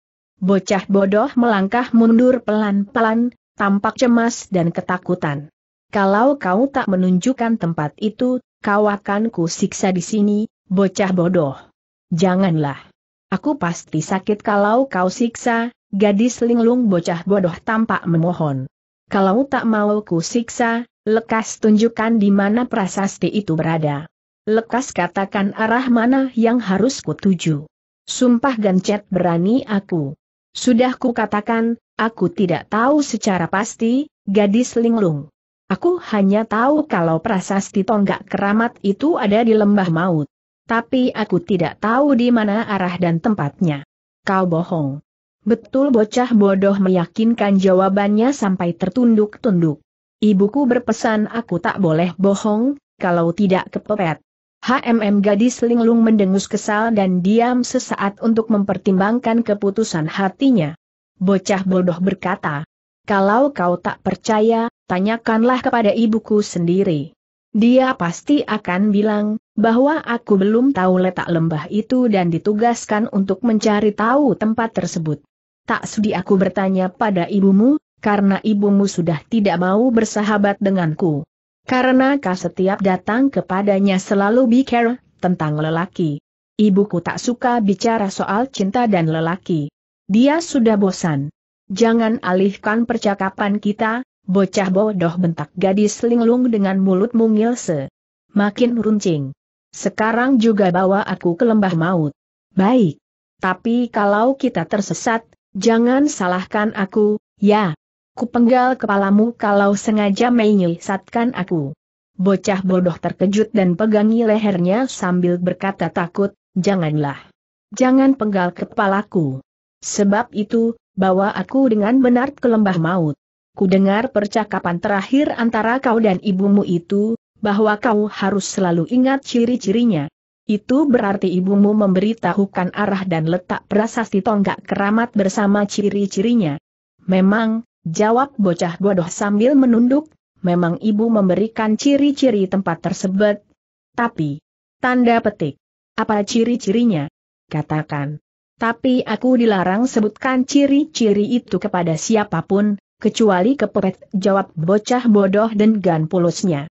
Kalau begitu kau harus kupepetkan dulu geram gadis linglung. Jangan. Ibuku berpesan agar aku tidak boleh saling berpepet-pepetan dengan perempuan yang bukan istriku. Dasar bodoh. Begini caraku memepetkan dirimu. Hi. Buuh. Gadis linglung kirimkan tendangan dan terkena telak di dada bocah bodoh. Tubuh tua itu terlempar ke belakang dengan suara pekik yang tertahan. Ia menyeringai ketika jatuh di tanah, tubuhnya menggeliat dengan mulut ternganga karena sukar bernapas. Dadanya dipegangi dan diurut-urutnya sendiri. Tapi gadis linglung segera hampiri dia dan menen. Dang wajahnya dengan kaki. Plak. Ampun, gadis ling. Ampun. Katakan ciri-cirinya bentak gadis linglung. Ibu melarangku untuk tidak. Gadis linglung mengangkat tubuh bocah bodoh, membuat ucapannya terhenti seketika dan ia berteriak, Waaaa. Beruk. Tubuhnya dibanting oleh gadis linglung, dilemparkan begitu saja bagaikan melempar nangka busuk. Bocah bodoh mengaduh kesakitan, sikunya nyeri bagai terkilir. Gadis linglung mendekatinya sambil membentak. Katakan atau tidak. Kalau tidak, kulemparkan tubuhmu lebih tinggi lagi. Jangan. Jangan lemparkan aku lagi. Kuadukan kepada ibu kau, biar ibu melemparkan kau dengan semburannya, seperti kau melemparkan aku. Aku tidak takut pada ibumu. Semburannya bisa kutangkis dan kubalikan hingga dia sendiri yang akan terlempar. Ayo, katakan. Katakan ciri-ciri di sekitar prasasti tonggak keramat itu. Aku tidak mau, Bocah bodoh geleng-geleng kepala sambil mau menangis. Tapi gadis linglung tidak punya rasa kasihan kepada bocah bodoh. Ia kembali menendang rusuk bocah bodoh, tanpa tenaga dalam pun sudah cukup membuat bocah bodoh kesakitan. Katakan, lekas. Tiba-tiba sebuah suara berseru dari belakang gadis linglung. Jangan paksa dia.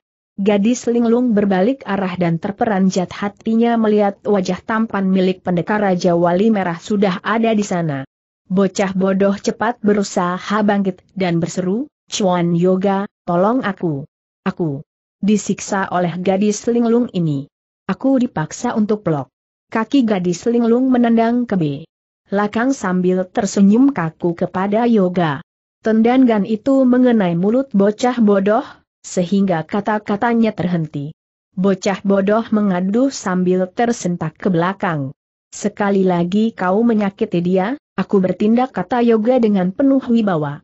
Gadis linglung senyum-senyum dan membiarkan Yoga mendekatinya. Ternyata yang didekati bocah bodoh. Gadis linglung tak jadi berdebar hati, karena ia menyangka akan dipandang lebih dekat oleh Yoga, dan berharap dipegang tubuhnya. Mulutku sakit, Chuan Yoga orang tua itu menggadeu seperti bocah. Mulai sekarang jangan jauh-jauh dariku, biar kau tak disakiti oleh siapa pun. Mengerti? Bocah bodoh hanya mengangguk, seperti seorang bocah yang menahan tangis karena malu. Yoga segera berpaling memandang gadis linglung dan berkata, Jangan menyakiti dia lagi. Kasihan dia. Aku tidak menyakiti. Aku hanya bermain-main dengannya, kata gadis linglung sambil bersungut-sungut tampakan manjanya. Lalu, ia berkata dengan membuang muka.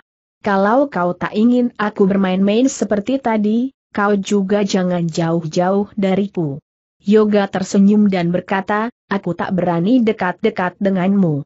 Takut kau menyakitiku seperti kau menyakiti bocah bodoh tadi. Aku tak akan menyakitimu, kecuali kau menolak untuk dekat denganku. Aku menolak untuk dekat denganmu kata Yoga. Kalau begitu aku harus menyakitimu. Kalau itu maumu, lakukanlah kata Yoga, karena dia berpikir ingin memberi pelajaran buat gadis linglung. Dengan cepat dan secara tiba-tiba, gadis linglung memutar tubuh dan menendang dalam sentakan lurus ke arah kepala Yoga. Wut! Yoga menghindar dengan rendahkan kepala.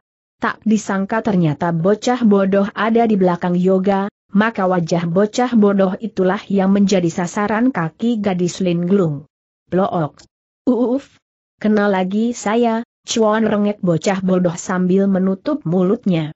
Dengan cepat yoga semakin merendah dan menyambar kaki gadis Linglung. Wut! Gadis Linglung cukup gesit, ia melompat ke atas hindari sambaran kaki yoga. Tapi ia tak tahu bahwa Yoga segera menggunakan tangan buntungnya untuk bertumpu pada tanah, dan tubuhnya melesat dalam keadaan jungkir balik, lalu kakinya menendang tiga kali berturut-turut ke perut gadis linglung. Buk buk buk. UHG tanda seru gadis linglung sempat mendelik dan sesak nafasnya. Lalu lempar tiga tombak ke belakang. Tangannya menahan perut yang merasa mual seketika dengan rasa nyeri pada ulu hatinya. Gila. Tenaga dalamnya sangat tinggi pikir gadis linglung. Kalau aku tak siap lapisi diri dengan napas dalam, pasti semua isi perutku tersontak keluar. HMRN. Pendekar tampan ini tak boleh dianggap enteng rupanya. Sebaiknya aku berpura-pura kabur, tapi menguntit bocah bodoh. Pasti dia pergi ke arah lembah maut. Ah, kurasa itu gagasan yang bagus bersembunyi dan mengikuti bocah bodoh itu dari belakang. Setelah tiba di sana, baru aku bertindak. Terdengar Yoga berkata, masih mau main. Main denganku? Gadis linglung berdiri dan berkata, ya. Tapi tidak sekarang. Karena aku menghendaki permainan lembut. Bukan kasar seperti tadi. Maafkan aku. Zaap. Gadis linglung seperti menghilang, padahal bergerak lompat dengan tenaga peringan tubuh yang cukup tinggi. Yoga membiarkan dengan senyum kemenangan tersungging di bibirnya. Lalu, Yoga berkata kepada bocah bodoh, kalau kau tak keberatan, aku akan mendampingimu pergi ke lembah maut. Sebenarnya saya keberatan, karena saya bisa jaga diri sendiri. Tapi kalau Tuan ingin ikut saya, silakan jalan di belakang saya. Yoga muak mendengar ucapan itu. Tapi rasa ingin tahu tentang teka-teki di dalam diri bocah bodoh dan prasasti itulah yang membuat Yoga menahan kemuakannya dan mengikuti langkah bocah bodoh. Tanda bintang 5. Setidaknya dengan mengikuti cola-colo dari jarak dekat, Yoga dapat yakinkan diri bahwa bocah bodoh itu bukan pembunuh lembayung senja, jalak hutan, dan mutiara naga. Jika sampai ia menemukan mayat yang punya luka sama dengan mayat yang sudah-sudah, maka Yoga akan tahu, apakah bocah bodoh yang membunuhnya atau orang lain. Tetapi, bocah bodoh agaknya kurang suka berjalan ditemani Yoga. Terbukti ia berjalan lebih cepat dan tak mau seiring dengan Yoga. Ketika Yoga menyu, sulnya dan bertanya, Mengapa kau tidak mau ku dampingi, bocah bodoh? Maka, Cola Colo pun menjawab, Ibu berpesan kepada saya, kalau tidak kepepet jangan minta bantuan orang lain, nanti saya tidak bisa mandiri. Jadi, sekarang saya merasa tidak terpepet, Tuan, maka saya tidak ingin mendapat bantuan apa-apa dari Chuan Yoga. Ajaran ibumu itu baik. Tapi bukan berarti ibumu menyuruhmu menolak persahabatan. Saya tahu. Tapi saya juga tahu, karena ibu berpesan, bahwa saya harus berhati-hati dengan kebaikan orang. Kalau ada orang baik pada saya, berlagak mau menolong, saya harus curiga.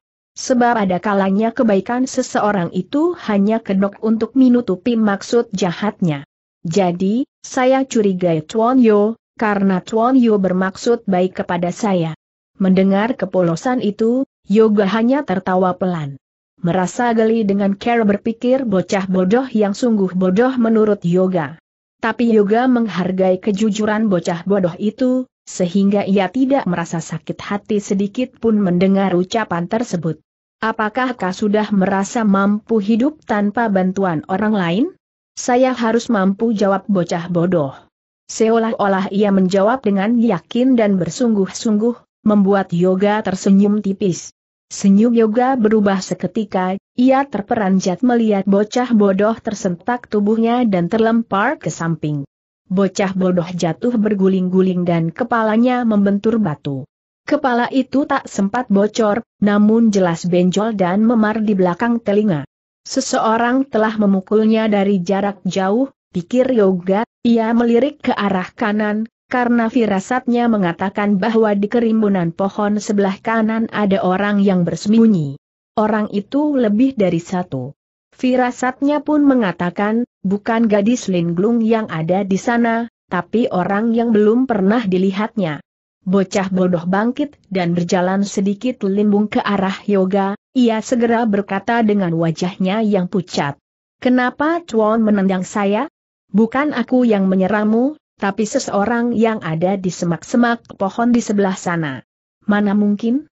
Kalau ada orang di sana, Mana bisa menendang saya yang ada di sini? Apakah dia punya kaki sepanjang pohon bambu? Kau ingin buktikan? Bocah bodoh tidak menjawab, hanya mendesis sambil menyeringai merasakan sakit di kepalanya, tapi ia melihat Yoga segera membungkuk mengambil sebutir batu, seukuran biji salak. Batu itu segera disenintilkan dengan jempol tangannya ke belakang. Batu itu melesat ke arah semak-semak diikuti oleh pandangan mata bocah bodoh. Blaar. Bocah bodoh menjadi sangat terkejut. Matanya terbuka lebar-lebar melihat batu itu mampu meledak dahsyat ketika membentur batang pohon, dan batang pohon itu segera tumbang dalam keadaan koyak-koyak. Lalu, dua orang melompat keluar dari tempat jatuhnya pohon tersebut. Mereka menghindari rubuhan pohon itu. Bocah bodoh makin terbengong dan berkata, Oh, benar. Ada dua orang yang bersembunyi di sana, Chuan Yu. Orang-orang itu segera datang mendekati bocah bodoh dengan langkah tegas dan berkesan ganas. Bocah bodoh sempat mengambil tempat di belakang Yoga karena rasa takutnya. Tetapi Yoga segera lompat ke satu arah yang menjauh. Bocah bodoh kebingungan dalam gerakannya, karena seolah-olah ia merasa tidak punya tempat untuk bersembunyi. Kedua orang berwajah sangar itu semakin mendekatinya. Bocah bodoh memandang ke arah Yoga dan gan tatapan mata seakan memohon perlindungan. Tapi Yoga hanya tersenyum dan berdiri dengan santainya di bawah sebuah pohon. Cola-colo siapa orang yang berpakaian mirah dengan suara keras dan kasar. Katakan kepada temanmu itu agar jangan ikut campur urusan kita jika ia mau selamat sambil orang itu menuding Yoga. Cola-colo mengangguk dan berkata, iye, Iya iya kemudian ia cepat berlari dengan gerakan seperti seekor bebek keberatan pantat, menemui Yoga dan berkata dengan gugup. Di IAA, dia bilang, Chuan jangan ikut campur urusan kami kalau Chuan mau selamat. Siapa mereka berdua itu? Yang baju merah. Hantu tamak getih, yang, yang baju hitam itu bernama Sabuk Geni. Dia, eh, mereka berdua dari perguruan lereng Lawu. Mereka, mereka jahat kepada ibu, dan, tanda petik. Bocah bodoh teriak sabuk geni. Ia aa jawab bocah bodoh dengan cepat, dan segera berlari menghadap sabuk geni yang sejak tadi memegangi gagang goloknya. Sedangkan Yoga masih tetap tenang di tempatnya. Sabuk geni yang berbadan sedikit lebih besar dari hantu tamak getih itu, berkata dengan suara menggertak bocah bodoh. Mi, mana pusaka itu? Cepat serahkan pada Ka. Bocah bodoh gugup dan bingung, sehingga ia sebentar-sebentar memandang Yoga dan garuk-garuk kepala. Hal itu membuat sabuk geni merasa jengkel, lalu dengan seenaknya mencengkeram rambut abu-abunya bocah bodoh itu. Mana pusaka itu, hah suaranya lebih keras, matanya mendulik, wajahnya mendekat. Bocah bodoh menyapu wajah karena kehujanan ludah sabuk geni. Pus, pus, Pus. Tanda petik. Pus meong bentak sabuk geni makin geram. Bocah bodoh menyeringai dengan kaki berjingkat dalam berdiri karena rambutnya terasa bagai mau dicopot dari kulit kepalanya. MMM, meong. Oh, aka aku tidak membawa. Kucing, sabuk geni. Plaak. Dengan seenaknya tangan sabuk geni yang berukuran besar itu menampar bocah bodoh. Terpelantinglah orang tua berjiwa anak-anak itu. Ia jatuh di tanah dan mengerang kesakitan sambil mengusap-usap pipinya yang habis kena tampar. Bangun sabuk geni kembali menjambak rambut bocah bodoh, sehingga bocah bodoh itu berdiri mengikuti gerakan tangan yang menjambak rambutnya itu. Mana pusaka itu? Lekas serahkan pada kami, atau kau kubunuh. Pu, pus pusaka apa? Hantu tamak getih yang sejak tadi hanya bertolak pinggang sambil matanya sebentar-sebentar milirik yoga itu, kini mendekati bocah bodoh dan berkata dengan lebih berwibawa dari sabuk geni. Jangan berpura-pura tidak tahu, bocah bodoh. Kau ditugaskan oleh ibumu yang lumpuh itu un. Untuk mengambil pusaka pedang jimat lanang dari prasasti tersebut. Kami tahu hal itu, karena kami dengar saat ibumu memberikan tentang pusaka pedang jimat lanang itu kepadamu. Sekarang juga, serahkan pedang itu. Ah, aku tidak membawa pusaka itu, hantu tamak getih, kata bocah bodoh dengan metu memohon belas kasihan. Bohong bentak sabuk geni. Kau pasti sudah sampai di lembah maut, dan menemukan prasasti tonggak keramat, lalu mengambil pedang jimat lanang itu. B. Belum. Belum sampai kok. Sumpah hantu tamak getih melirik Yoga sebentar, ke. Kemudian berkata kepada temannya, bocah ini harus dibuntungi tangannya biar mau serahkan pedang itu. Ja, jangan. Jangan buntungi tanganku. Tanganku hanya dua dan tak ada gantinya lagi di rumah. Jangan buntungi aku, sabuk geni, jangan buntungi tanganku, hantu tamak getih. Kalau kau tak mau kubuntungi, serahkan pedang pusaka itu. Aku tidak membawanya. Mungkin kau titipkan pada seseorang kata hantu tamak getih sambil melirik Yoga sekejap. Yoga sendiri tahu, dirinya disindir-sindir sejak tadi. Tapi Yoga tetap tenang memperhatikan mereka dengan senyum tipis tetap mekar di bibirnya. Aku benar-benar belum memiliki pedang itu. Sumpah disambar kerupuk satu kaleng, aku berani. Tak ada pusaka padaku, teman. mulutmu belakangan ini sukar dipercaya geram sabuk geni. Kau memang harus dihajar dulu biar tidak jadi pendusta. Huh! Bu Ugah!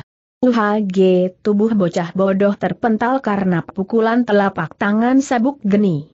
Pukulan itu cukup keras dan membuat tubuh bocah bodoh jatuh terkapar di depan Yoga. Mulutnya keluarkan darah dengan mata, terbeliak-beliak. Rupanya tindakan itu merupakan tantangan bagi Yoga. Kedua orang berwajah bengis itu sengaja memancing kemarahan Yoga supaya bertindak, sebab mereka sama-sama menduga bahwa pusaka yang bernama pedang jimat lanang itu ada di punggung Yoga. Mereka pun merasa sirik melihat ketampanan Yoga yang jauh lebih tinggi dari wajah bengis mereka. Tetapi Yoga tetap tidak bertindak apa pun. Ia hanya memandangi jatuhnya bocah bodoh dengan tenang. Bocah bodoh berusaha bangkit dengan seringai kesakitan. Ia meludah dan darah keluar dari mulut. Chuan Yo, mengapa diam saja? Mengapa tak tolong saya, Tuan? Katanya Tuan mau bersahabat dengan saya? Yoga menjawab, menurut pesan ibumu, kau tak boleh meminta tolong kepada siapa pun dan harus bisa mandiri. Iya. Tapi, tapi, tapi ibu saya kan di rumah. Ibu tidak melihatnya. Uuha. Tolonglah saya, Tuan. Mereka jahat kepada saya. Nanti kau curiga kalau aku punya maksud baik padamu. Tit, tidak.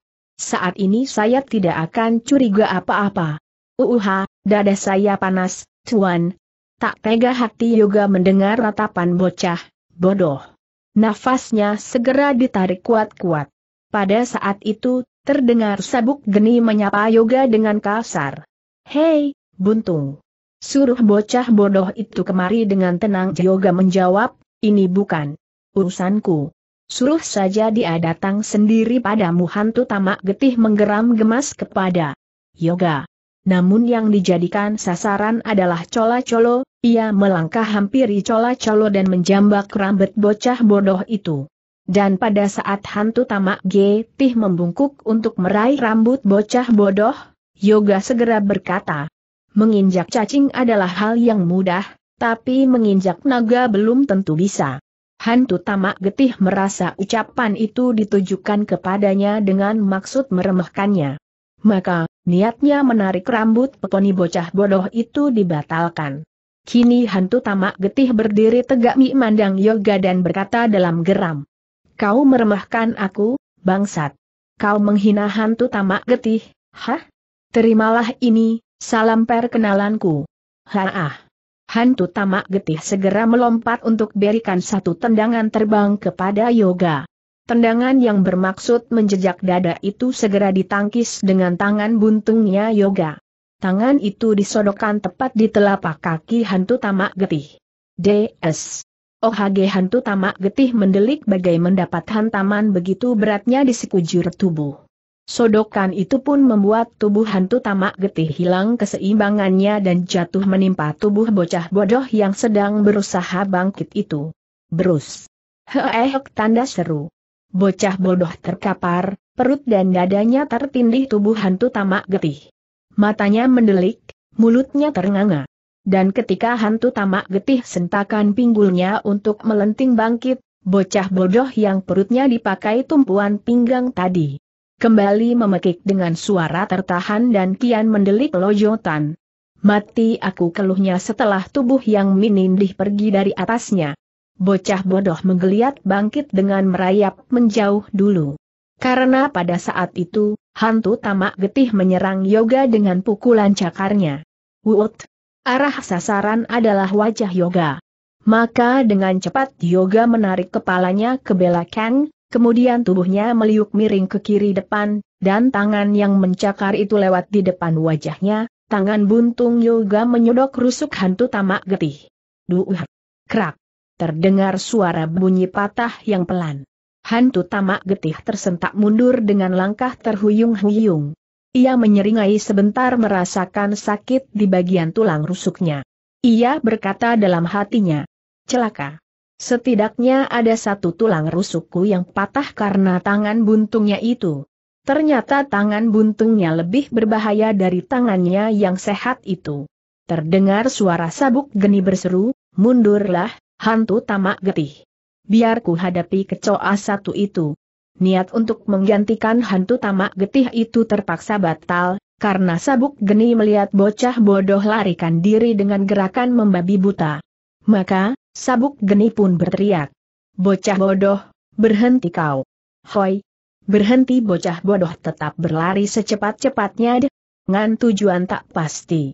Sabuk geni takut kehilangan bocah bodoh, maka segera mengejarnya sambil melepaskan sabuk besarnya dari kulit ular kuning. Yoga mengkhawatirkan keselamatan bocah bodoh. Tapi ketika ia ingin menyusul mengejar sabuk geni, tahu-tahu sebuah pukulan bersinar putih seperti gumpalan kapas melesat cepat mengarah ke punggungnya. Yoga terpaksa cepat berbalik dan sentakan telapak tangannya hingga keluarkan sinar merah. Sinar itu menghantam cahaya putih dari tangan hantu tamak getih. Blaar.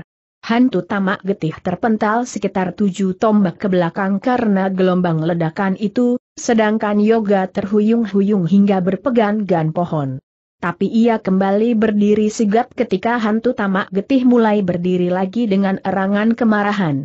Kurajang habis tubuhmu, buntung busuk. Haa hantu tamak getih keluarkan dua sabit kembar dari samping kanan kiri. Dua sabit itu digerakkan dengan cepat bersimpang siur di depannya sambil ia berlari menyerang dengan ganasnya. Wut, wut, wut, taak. Yoga dihujani tebasan dua sabit. Pendekar Raja Wali Merah hanya menghindar dan mundur beberapa tindak. Ketika dua sabit itu hendak menyerangnya secara bersamaan, Yoga melompat dan kedua kakinya menendang secara bersamaan ke depan dengan gerakan tendang ke atas. Daak, daak. Muus. Tendangan itu mengenai kedua siku secara bersamaan, sabit itu terpental lepas dari genggaman pemiliknya. Keduanya melayang ke atas. Dan pada saat kedua tangan tersentak naik, Yoga cepat kirimkan pukulan telapak tangannya tepat di tengah dada hantu tamak getih. Baah! He, agak tanda seru hantu tamak getih terpental dengan mata mendelik. Dari hidung, mulut, D6 antelin ganya, mengalir darah segar yang tak terhindari lagi. Itu. Dada tersebut membekas telapak tangan warna hitam. Baju yang tak dikancingkan membuat jelas warna dada yang merah memar dengan noda hitam membekas telapak tangan pendekar Raja Wali merah. Sudah pasti dada itu sakitnya bukan kepalang dan panasnya melebihi dibakar api. Hantu tamak getih berkata dalam hati, tak mungkin aku bisa mengalahkan dia jika sudah terluka begini. Kusembuhkan dulu lukaku, baru nanti mencarinya untuk bikin perhitungan baru. Wut! Hantu tamak getih lekas pergi tinggalkan arna pertarungan itu. Yoga membiarkannya dan merasa tak perlu memburu, sebab ia lebih mengkhawatirkan keselamatan bocah bodoh itu. Maka, ia pun segera berlari mengejar ke arah kepergian bocah bodoh yang diburu oleh sabuk geni tadi. Gerakan yoga tertahan ketika ia hampir menerobos celah dedaunan rambat yang ada di hutan itu. Gerakan itu terhenti karena yoga melihat sesuatu yang tak disangka-sangka. Sabuk geni lecutkan sabuknya yang menghadirkan cahaya hitam berkelok-kelok jumlahnya lima baris. Sasarannya adalah tubuh bocah bodoh yang sudah bercucuran darah hidungnya dan sekarang dalam keadaan terdesak. Di belakang bocah bodoh ada pohon yang membuatnya sulit menghindar. Tapi ternyata buat bocah bodoh itu bukan hal yang sulit. Ketika sinar hitam lima baris menyerangnya, bocah bodoh melompat ke atas, dan kedua kakinya segera menyentak ke belakang. Batang pohon dipakainya untuk tempat sentakan dua kaki, lalu tubuh melesat ke arah lawan, bersalto satu kali di udara, dan tepat di atas kepala sabuk geni, Bocah bodoh hontamkan pukulannya ke kepala itu dengan sentakan ujung telapak tangannya. Duh! Kraat! Retak kepala sabuk geni seketika itu. Suara jeritannya menggema keras ke mana-mana. Bukan hanya dari mulut, hidung, dan telinga saja ia keluarkan darah, melainkan dari metu dan keretakan di bagian belakang kepala juga keluarkan darah segar. Bocah bodoh menapakkan kedua kakinya di tanah dengan sigap. Tapi agaknya ia menangis karena amukan marah di dalam hatinya. Ia biarkan tubuh lawannya oleng sebentar. Kemudian, ia melangkah maju dengan satu hujaman telapak tangan ke arah pertengahan pangkal leher, dekat dada. Kraap. Separuh telapak tangannya masuk ke leher lawan. Membuat lawan semakin mendelik dan tak bisa keluarkan suara. Ketika bocah bodoh cabut kembali tangannya, sabuk geni yang bertubuh jauh lebih besar darinya itu tumbang tanpa ampun lagi. Erangan tangis bocah bodoh terdengar seperti anak kecil habis berantem. Bahkan di sela tangisnya ia mengomel. Biar. Biar mati kau. Bilang dan adukan sama ibuku tidak takut. Aku kau desak terus hampir mati. Jadi terpaksa aku melawanmu. Matilah sana, tak perlu ajak-ajak aku. Sabuk geni memang mati. Bocah bodoh membersihkan darah dengan dedaunan.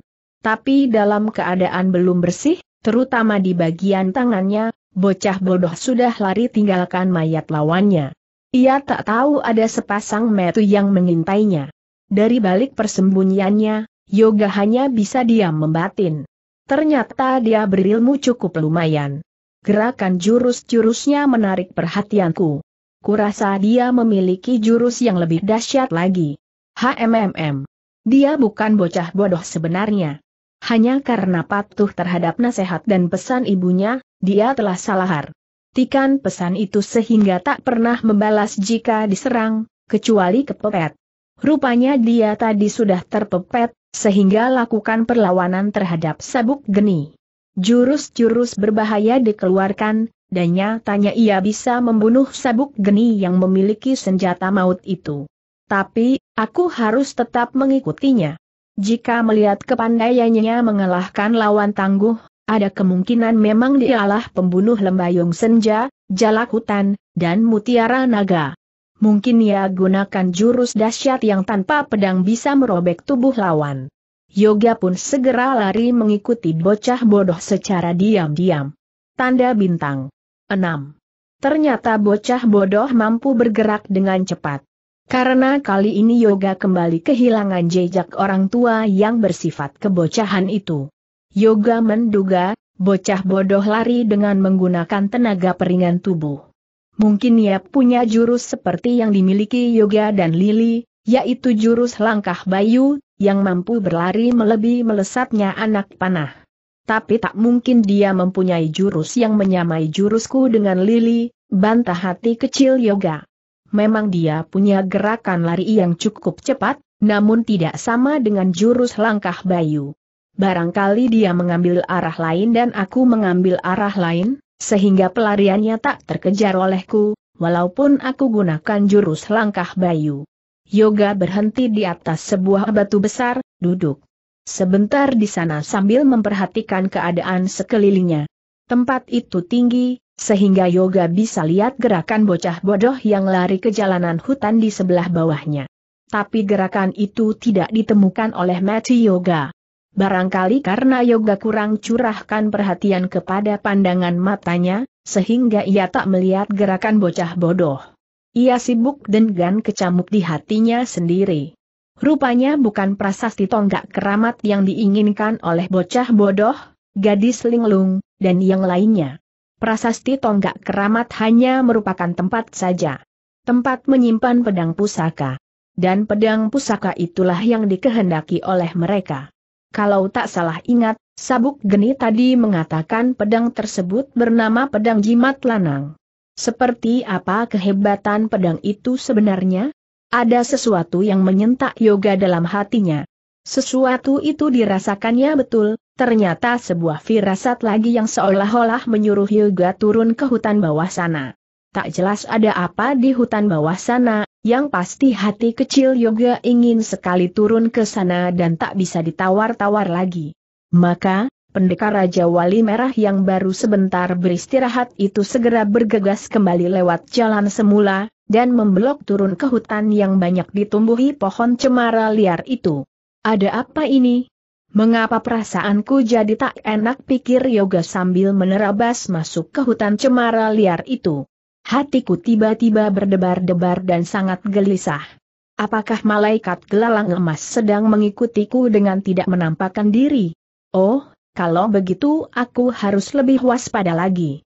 Tapi, bagaimana mengalahkan dia, sedangkan dia orang yang seperti bayangan dan sukar ditebas dengan pedang, bisa dipukul ataupun disentuh. Guru tidak bekali aku ilmu memukul bayangan. Apakah Lili mempunyai ilmu itu untuk bisa kalahkan malaikat gelalang emas? Bau amis darah tercium oleh Yoga dan membuat langkah pendekar tampan menjadi pelan. Sengaja Yoga melangkah lamban sambil hidungnya mengendus-endus bau amis darah itu yang dirasakan semakin tajam. Semakin membelok ke kiri, semakin tajamlah bau amis darah itu.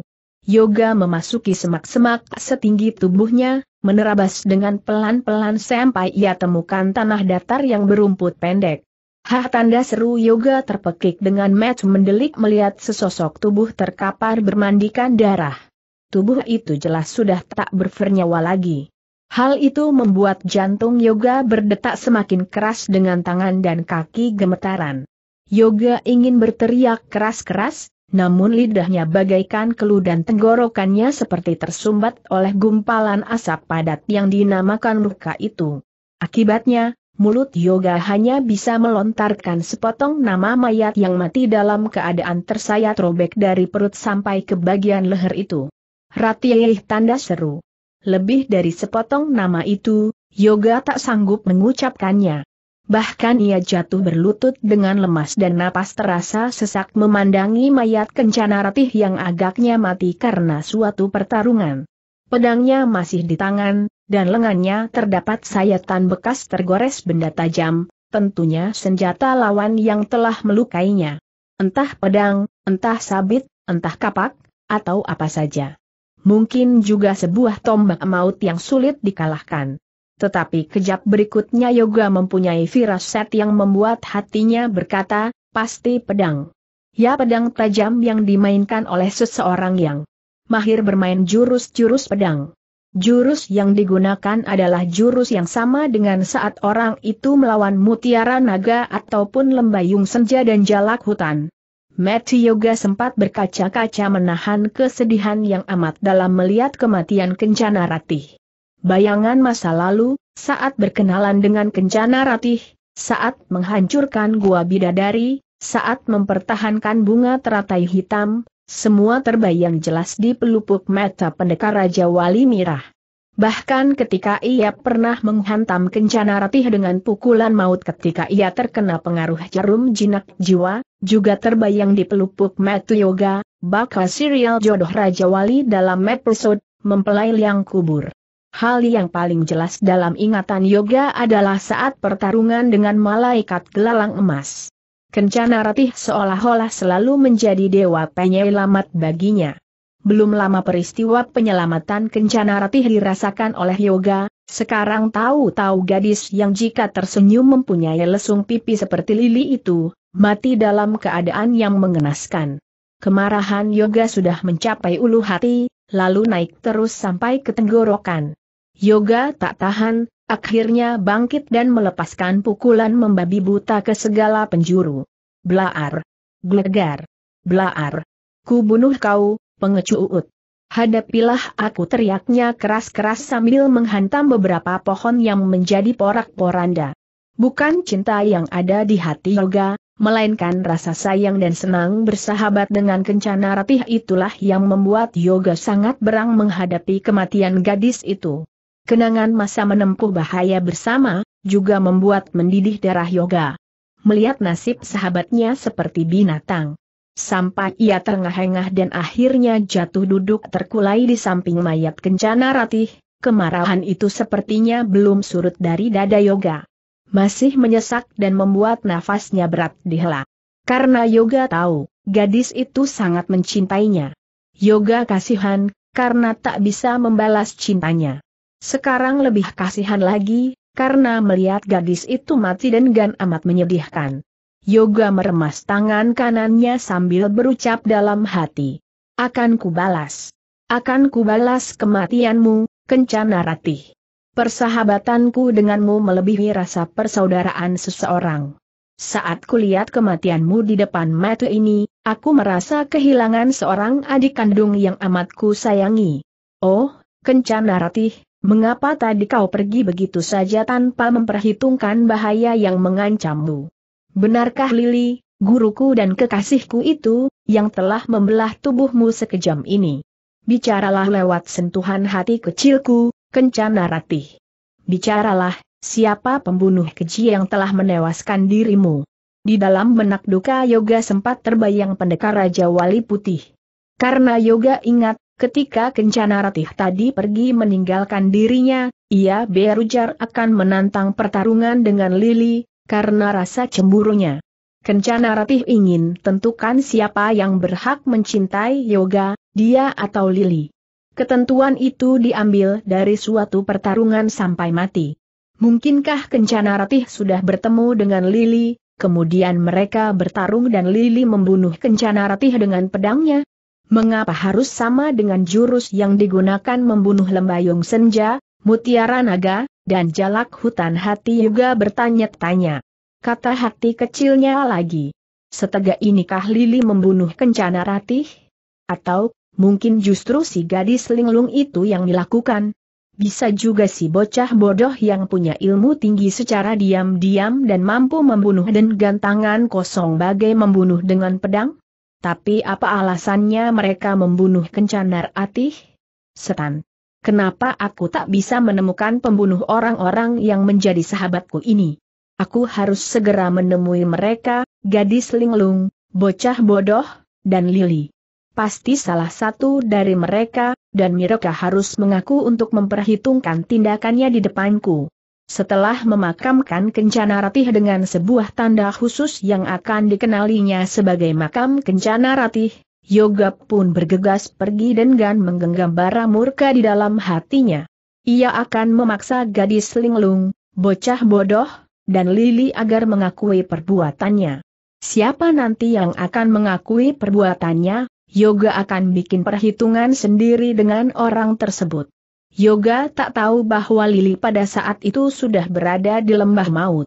Tua usil yang menunjukkan jalan ke lembah maut, sehingga tanpa susah-susah harus mencarinya, Lili sudah bisa sampai ke lembah tersebut. Tetapi, di mana letak prasasti tonggak keramah itu?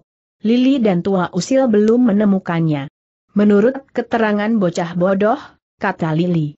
Prasasti itu sebuah tugu dari batu, tingginya sebatas perut dan punya bekas telapak tangan guru ibunya. Sekarang cari batu yang tingginya sebatas perut, tua usil. Tua usil garuk-garuk kepala sambil meman. Dan sekelilingnya. Ia berkata dengan nada seperti orang menggumam. Di sini cukup banyak batu. Batu yang tingginya sebatas perut juga banyak. Apakah, apakah enaknya setiap batu setinggi perut kita anggap prasasti saja, Nonali? Gagasanmu tak pernah waras, tua usil kecam Lili. Tua usil hanya nyengir. Sekejap berikutnya, tua usil berkata, kalau Nona Li mau ajarkan saya berdiri di atas silalang sekarang juga, maka saya akan periksa semua batu yang ada di lembah ini. Itu janji saya, Nona Li. Dan kalau aku mencabut pedangku untuk mirobek lehermu, apakah kau tetap tak akan mau mencari prasasti itu? Tak akan mau. Dengan rasa takut, tua usil menjawab, ya ah, tetap mau metu, tua usil melirik dan bersungut-sungut, Lili berlagak tidak mengetahui sikap tua usil itu. Tua usil, kita berpencar saja, kau kemari, aku ke SSST. Saya mendengar langkah orang berlari. Menuju kemari, Nonali. Apakah Nona tidak mendengarnya? Lili kerutkan dahi, telengkan telinga, lalu ia menjawab dengan nada berbisik. Ya, benar. Kita bersembunyi di balik batu besar itu. Lekas. Maka keduanya bergegas bersembunyi di balik batu besar yang tingginya melebihi ukuran tubuh mereka. Tak berapa lama kemudian, seseorang memang sedang berlari menuju ke tanah depan batu tersebut. Tua usil semakin merapatkan tubuh ke badan Lili tapi Lili menyentakkan tubuh itu hingga tua usil jatuh terduduk. Kenapa Nona mendorong saya? Jangan menggunakan kesempatan untuk merapatkan tubuh ke badanku, setan. Badanku hanya boleh disentuh oleh yoga. Iya, iya. Saya tahu. Tapi sekarang kita akan sedang bersembunyi. Kalau lengan saya menyentuh lengan Nonali, sah-sah saja. SSST Lili segera kembali ke perhatian semula. Seseorang dilihatnya melintas dalam pelarian yang disertai wajah ketakutan. Orang tersebut adalah Cola Colo, si bocah bodoh itu. Itu dia bocah bodoh, Nonali. Kita ikuti saja langkahnya, pasti menuju ke prasasti tonggak keramat. Belum tentu. Siapa tahu dia mencari sungai karena perutnya mulas? Untuk apa kita ikuti? Hihihi, kalau itu, ya memang tidak perlu. Kita. Tanda petik. SSST Lili kembali memberi isyarat supaya tua usil diam. Ada yang mengejar bocah bodoh tambah Lili dalam bisikan. Apa yang dikatakan pendekar Raja Wali Putih itu memang benar bocah bodoh ternyata sedang dikejar-kejar oleh gadis linglung. Lili sempat berkerut dahi sebentar, merasa heran melihat gadis linglung memburu bocah bodoh. Tapi setelah Lili temukan jawabannya, bahwa gadis linglung pasti tidak tahu arah menuju prasasti tonggak keramat itu, maka tak heran dan bukan hal aneh jika gadis linglung mengikutinya, baik secara diam-diam maupun secara terang-terangan. Dengan cepat dan tanpa pamit lagi, Lili pun segera mengikuti pelarian kedua orang tersebut. Hal itu membuat tua usil sempat kebingungan mencari Nonali yang pergi bagai menghilang itu. Tapi ketika ia melihat Lili sudah ada di belakang gadis linglung, tua usil pun segera mengikutinya. Bocah bodoh teriak gadis linglung. Berhenti kau. Kalau tidak akan kulempar senjata dari sini. Mendengar ancaman begitu, bocah bodoh segera hentikan langkahnya. Ia terengah-engah dengan mata, tuanya memandang penuh rasa takut. Ia merapat ke celah sebuah batu dengan wajah tegang. Sementara itu, gadis linglung segera mendekatinya dengan memaksakan dirinya untuk bisa kelihatan menyeramkan di mata bocah bodoh. Kau benar-benar manusia terbodoh di dunia kata gadis linglung kau sama sekali manusia yang tidak sayang kepada nyawa sendiri. Sudah ku bilang, kau akan kubunuh dan tubuhmu kupotong menjadi 60 bagian kalau kau tidak tunjukkan di mana lembah maut itu berada. Pada waktu itu, tua usil tiba di tempat perhentian Lili. Tangan Lili memberikan isyarat agar tua usil berhenti di situ saja. Mendengar suara keras gadis linglung, tua usil hampir tertawa. Ia berbisik kepada Lili. Gadis itu benar-benar linglung. Sudah berada di lembah maut, eh, masih tanya di mana lembah itu. Barangkali mereka berdua tak sadar kalau pelarian mereka sudah sampai di lembah maut, bisik Lili juga. Sebaiknya kita jadi penonton saja, tak perlu ikut campur urusan mereka. Tapi mereka akan tahu kalau kita ada di sini, Nona. Kita dapat terlihat oleh mereka. Kita sembunyi lagi saja, seperti tadi. Malas. Nanti kamu gunakan kesempatan lagi. Biar mereka melihat kita. Aku ingin tahu apa tindakan gadis linglung itu jika melihatku ada di sini. Kalau masih menyebut-nyebut nama yoga akan kusikat habis dia. Tua usil bersungut-sungut menggumam, besar amat cemburunya. Lili hanya melirik, tua usil segera diam dan bersikap biasa-biasa saja, karena dia paling takut kalau lihat Lili marah. Sementara itu, di depan mereka tampak gadis linglung sedang memaksa bocah bodoh untuk tunjukkan di mana lembah maut itu, dan ciri-ciri apa yang digunakan sebagai tanda tempat tersebut. Tetapi agaknya bocah bodoh tetap ingin menjaga rahasia itu, sehingga biarpun dibanting-banting beberapa kali, namun ia tetap tidak mau menjawab pertanyaan gadis linglung. Kalau kau tak mau sebutkan, ku pecahkan kepalamu sekarang juga ancam gadis linglung kepada bocah bodoh. Waktu itu bocah bodoh terkapar sambil mengerang merasakan tulang-tulangnya sekujur tubuh bagaikan patah karena dibanting-banting oleh gadis linglung. Sedangkan gadis linglung sudah kembali mengangkat batu besar dan siap menghantamkan batu itu ke kepala bocah bodoh. Nona, kasihan si bocah bodoh itu. Dia tidak berdaya, karena dia tidak punya ilmu silat sedikit pun kata tua usil. Rupanya ucapan tua usil yang membisik itu menyentuh hati Lili, hingga timbul rasa kasihan kepada bocah bodoh. terdengar lagi suara gadis linglung membentak, ku hitung sampai tiga kali, kalau kau tak mau jawab pertanyaanku, ku jatuhkan batu ini ke kepalamu. Kalau tak remuk, jangan panggil aku gadis linglung. Satu gadis linglung menghitung, dua. Pendekar Raja Wali Putih segera memetik selembar daun kecil yang ada dalam satu jangkauan tan. Gannya. Dan, kecil itu dilemparkan ke depan. Zuirt. Daun kecil itu menghantam batu besar yang diangkat dengan dua tangan oleh gadis linglung. Beras. Batu itu pecah tanpa timbulkan bunyi ledakan. Pecahannya menjadi serpihan kerikil yang kecil sekali, sekecil sebutir merica. Tentu saja hal itu membuat gadis linglung terkejut bukan kepalang. Ia segera menetap ke arah datangnya selembar daun kecil itu, lalu ia temukan wajah cantik pendekar Raja Wali Putih yang berdiri dengan tenangnya bersama tua usil. Gadis linglung geram dan bergegas menghampiri pendekar Raja Wali Putih. Sementara itu, Cola Colo merasa punya kesempatan untuk segera bangkit dan lanjutkan pelariannya. Tetapi, tua usil segera menghadang dalam satu lompatan dan berkata, Jangan lari dulu. Selesaikan dulu perkaramu. Ini. Oh, iya, Ya, aku hampir lupa, kata bocah Bo. Doh, kemudian tak jadi pergi, namun segera hampiri Lili dan gadis linglung yang sedang saling berhadap-hadapan dalam jarak empat langkah itu. Siapa kau Hardik gadis linglung? Tidakkah kau mengenaliku kata Lili? Gadis linglung kerutkan dahi sebentar, kemudian mengangguk-angguk. Oh, ya, aku ingat, kau perempuan galak yang bersama pendekar tampan memikat hatiku itu. Wut! Plaak! Lili bergerak sangat cepat dan di luar dugaan. Tangannya menghantam wajah gadis linglung dengan telapak tangan. Begitu gadis linglung terhantam dan terpental jatuh, Lili masih diam dengan gerakan tangan bekas menghantam masih terangkat naik. Gadis linglung segera bangkit dengan gerutu. Dan makian tajam. Kadal buntung. Kau pikir hanya kau sendiri yang bisa galak dan menampar wajah? Aku juga bisa. Pada waktu itu, bocah bodoh berkata, sudah, sudah, aku tidak apa-apa kok.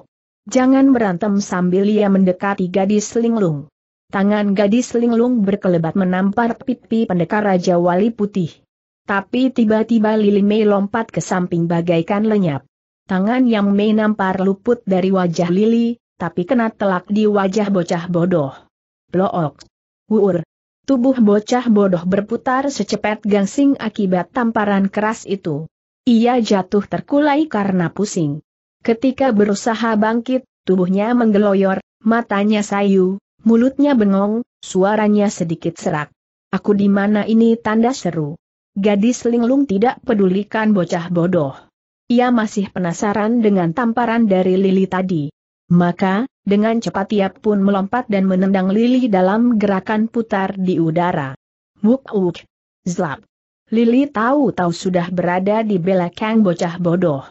Bocah bodoh kaget dan cepat-cepat jongkok sambil tutupi kepalanya dengan dua tangan karena takut menjadi salah sasaran lagi. Zlap.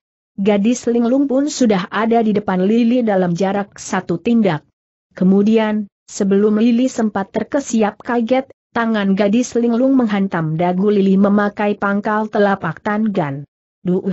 Lili kena pukul, tersentak mundur tiga tindak, ia segera tegak kembali dan siap lepaskan pukulan.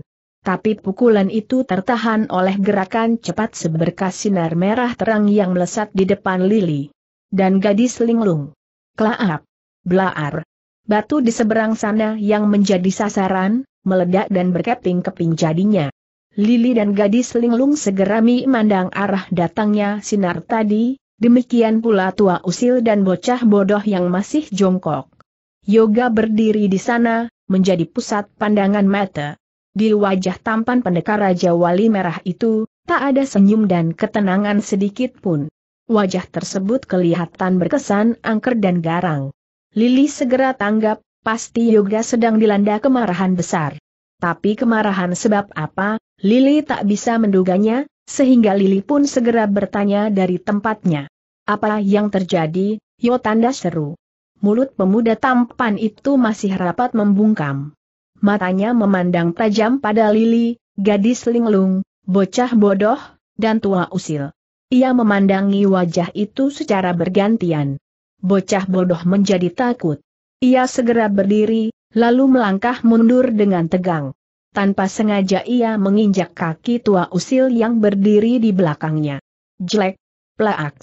Tua usil menahan sakit sambil menepak kepala bocah bodoh. Yang ditepak cepat berpaling cemberut sambil mengusap-usap kepalanya. Tua usil mendelik, bocah bodoh cepat palingkan wajah memandang Yoga kembali. Yo, katakan, apa yang terjadi pada dirimu tanya Lili, sementara itu gadis linglung tersenyum-senyum menikmati ketampanan yang membuat hatinya berdesir-desir itu.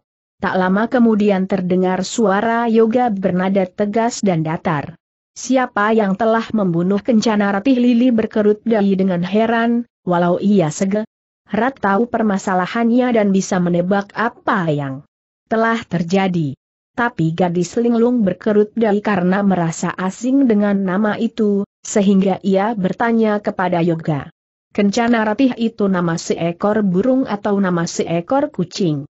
Yoga melangkah cepat, lalu menendang tulang kaki gadis linglung. Duugah! Gadis linglung mengaduh, ia menyangka akan ditampar dan sudah siapkan tangkisan, namun ternyata ditendang tulang kakinya.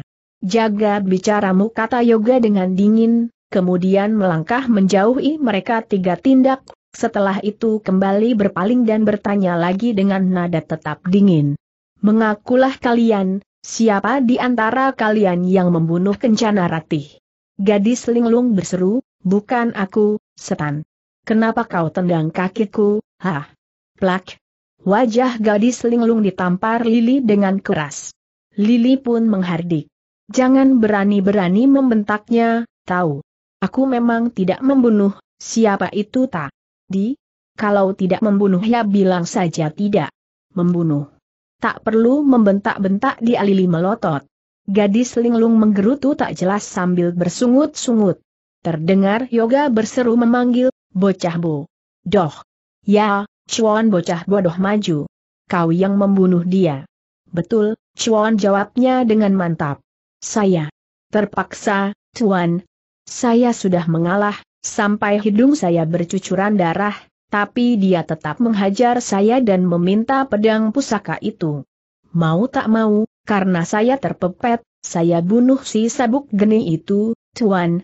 Soalnya, tanda petik. Yang ku maksud kencana ratih. Bukan sabuk geni bentak yoga. Oh, kencana ratih tanda seru. Wah, maaf, cuan saya. Belum kenal dengan perempuan itu, dan tidak ada masalah apa-apa. Jadi saya tidak membunuhnya. Kalau sabuk geni, memang. Saya sudah mengalah, sampai hidung saya berdarah, tapi... Tanda petik. Cukup sentak yoga. Betul, Tuan. Saya sudah cukup. Cukup puas bisa membunuh sabuk geni, jawab bocah bodoh polos saja, tanpa menyadari bahwa jawaban itu salah pengertian dan tidak digubris lagi oleh yoga. Kini mati yoga menatap Lili dan berkata, Kau, guru. Jangan menuduhku. Aku tak suka. Kencana Ratih tewas seperti halnya Lembayung Senja, Jalak Hutan, dan Mutiara Naga. Lili tersentak, karena ia kenal dengan Mutiara Naga dan pernah ikut sembuhkan Mutiara Naga saat gadis itu sakit. Yoga menjelaskan ciri-ciri yang sama itu, dan sedikit ungkapkan rasa persahabatannya dengan mereka, sehingga membuatnya menjadi berang.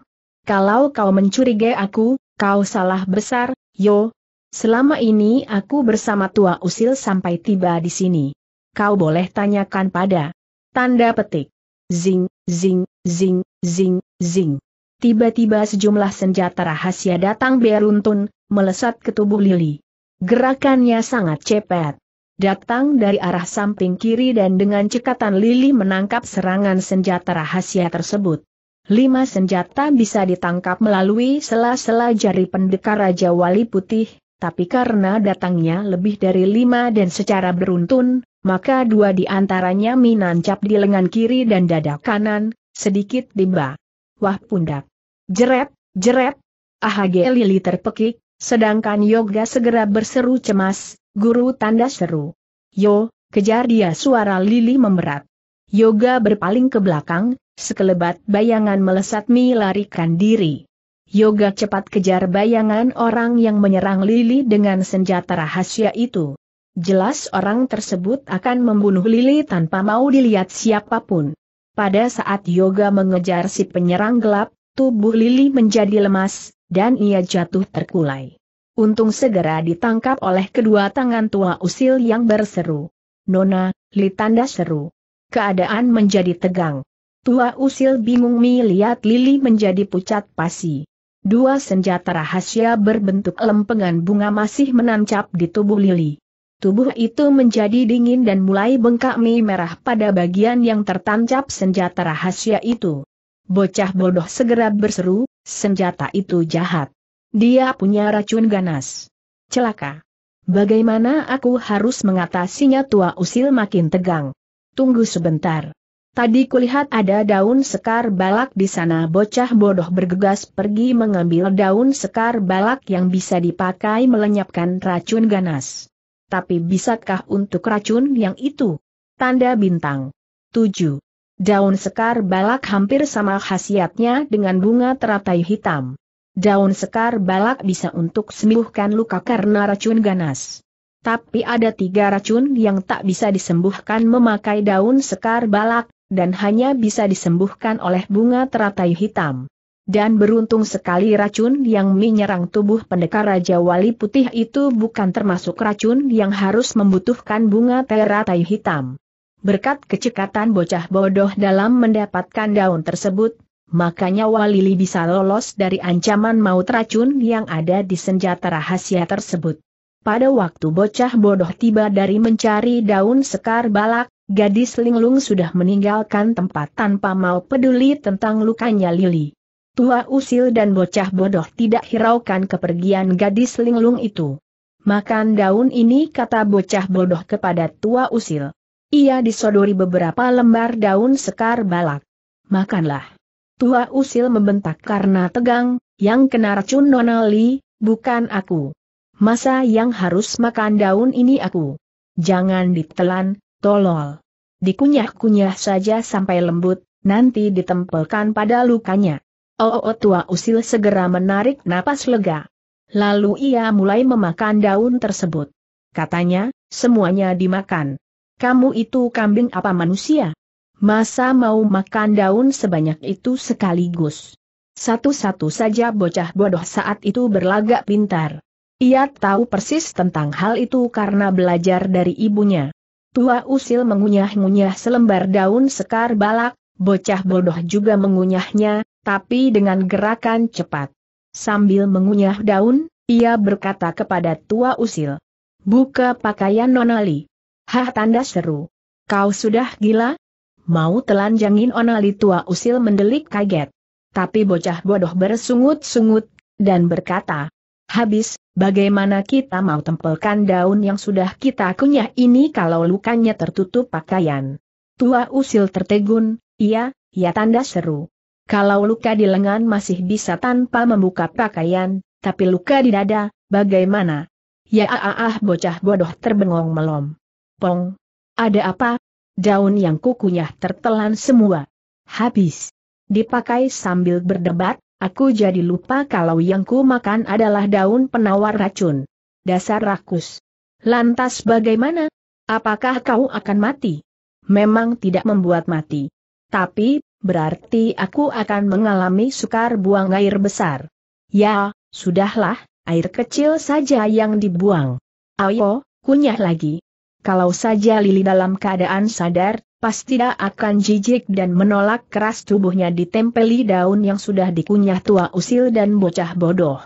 Untung Lili dalam keadaan tak sadar, sehingga kedua orang itu dapat dengan bebas menempelkan daun yang dikunyahnya berkali-kali. Sebab setiap daun yang habis dikunyah lalu ditempelkan, dalam waktu cepat akan kering dan terlepas, sehingga hal itu harus dilakukan secara berulang-ulang. Tetapi hasilnya cukup hebat.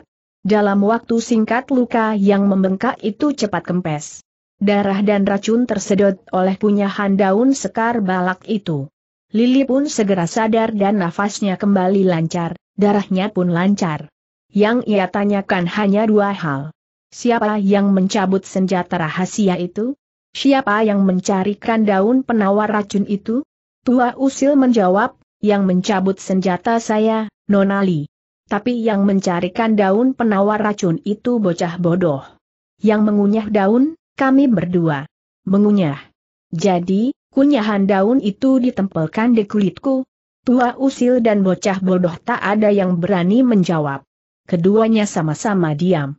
Lalu bocah bodoh pun segera berkata, Maaf, Nonali, saya harus segera pergi menuju prasasti tonggak keramat itu. Kudengar kau tadi menyebutkan tentang pusaka. Maksudmu pusaka apa tanya Lili? Pusaka pedang jimat lanang. Pusaka itu milik gurunya ibu saya, dan pusaka itu diwariskan kepada ibu oleh sang guru. Tetapi karena ibu lumpuh, maka ibu mengutus saya untuk mencarinya. Jadi, pedang itu nantinya menjadi milikmu tanya tua usil. Kalau menurut pesan ibu memang begitu. Tapi, terserah nanti bagaimana keputusan ibu, apakah mau diserahkan kepadaku, atau digunakan sendiri, atau diserahkan kepada orang lain, aku tak berani mendului keputusan ibu. Anak yang patuh kau sebenarnya, bocah bodoh kata Lili. Lalu dia bertanya kepada Cola-Colo, apa kehebatan pedang itu menurut ibumu? Pedang itu bisa untuk memotong baja, tapi tidak bisa untuk memotong kuku, jawab bocah bodoh. Pedang itu, katanya bisa menjadi panjang kalau disentakan dengan tenaga dalam kecil. Pedang itu juga bisa bergerak sendiri dan pemegangnya hanya ikuti saja gerakan itu. Kata ibu juga, pedang itu bisa lukai lawan lewat bayangan lawan. Yang jelas, pedang itu sangat tajam, dan bisa untuk memotong pohon sebesar itu dengan satu kali tebas, sambil bocah bodoh menuding pohon besar di depannya. Hebat sekali pedang itu gumam tua usil dengan kagum. Ya, memang hebat. Padahal, kata ibu, pedang itu berukuran pendek, tidak sepanjang pedangnya daun nali itu bocah bodoh berapi-api menceritakannya. Hati Lili pun memuji kehebatan pedang itu, batinnya berkata, pedang itu cukup hebat. Kalau sampai jatuh di tangan orang sesat, oh, sangat berbahaya.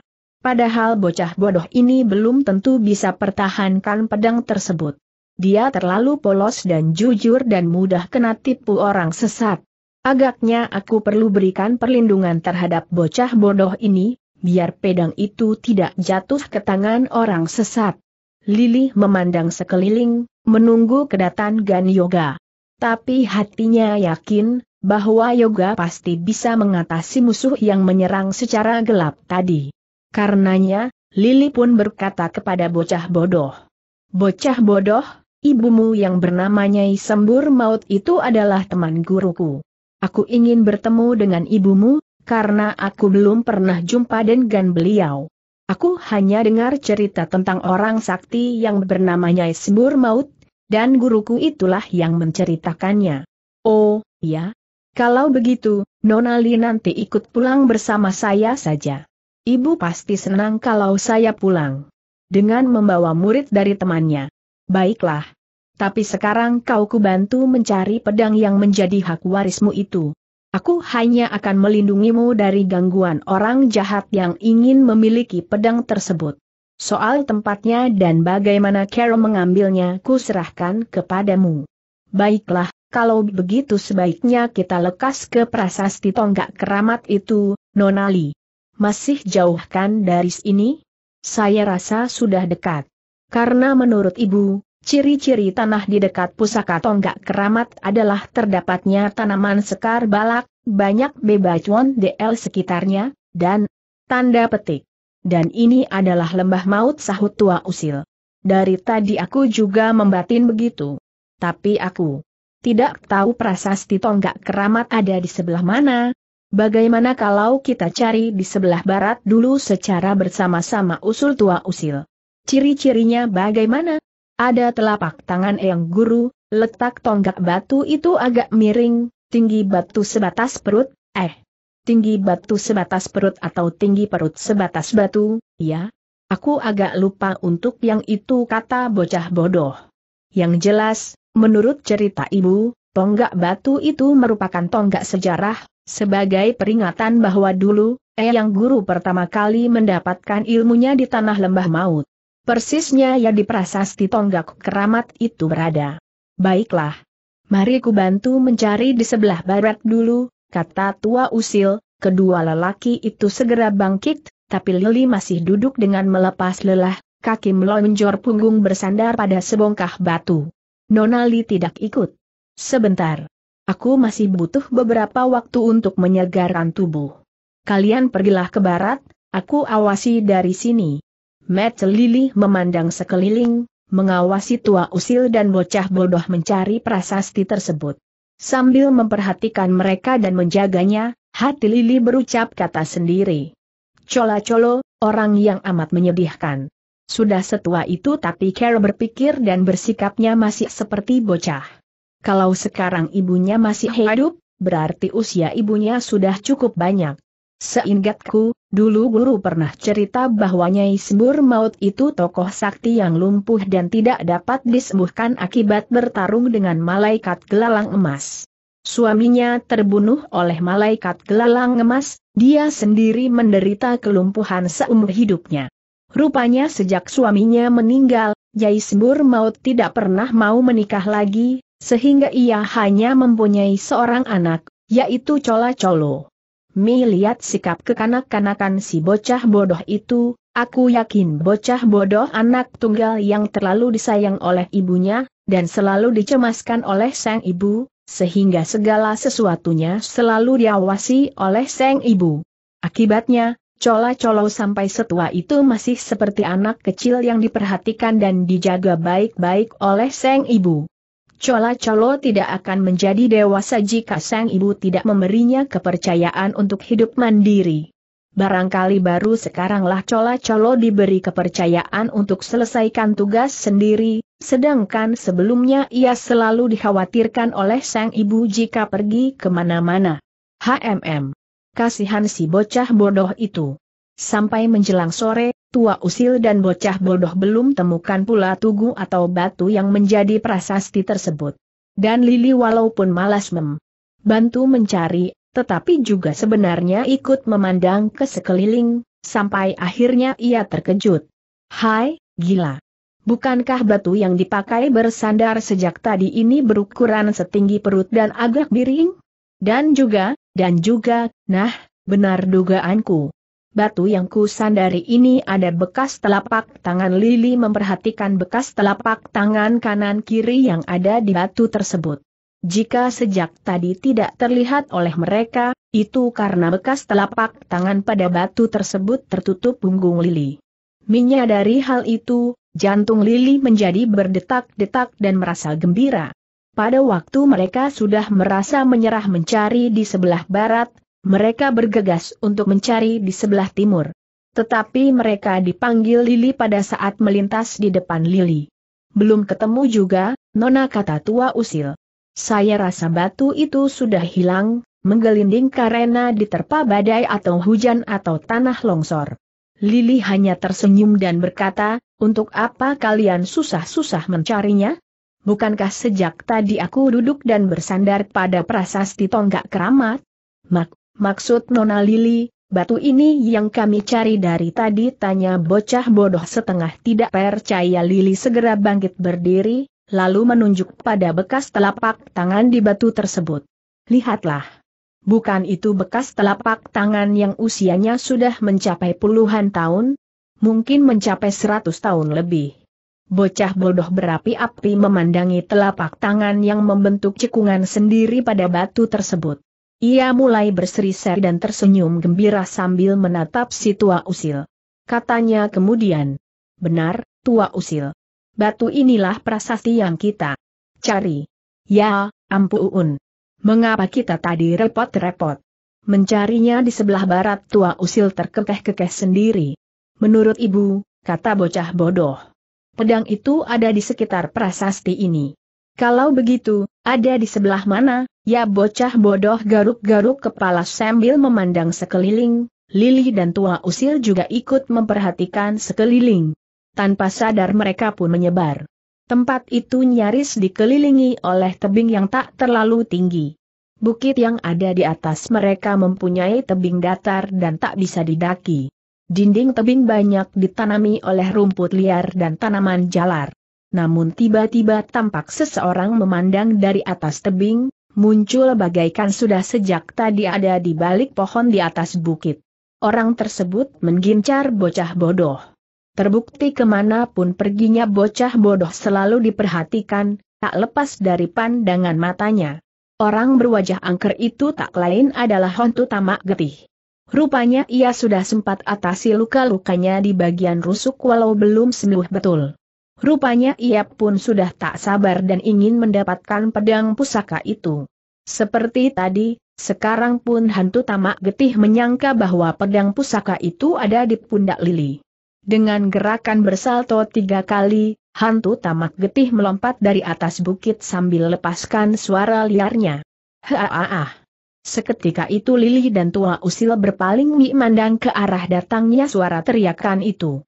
Tetapi mereka telah terlambat. Hantu tamak getih sudah lebih dulu menyandra bocah bodoh dengan keadaan.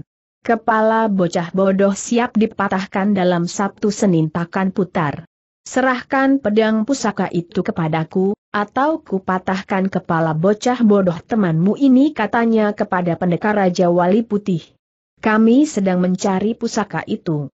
Kalau kau mau ikut mencari, silakan saja jawab Lili dengan tenang. Aku tahu, pedang itu sudah kalian temukan. Sekarang ada di punggungmu, Nona cantik.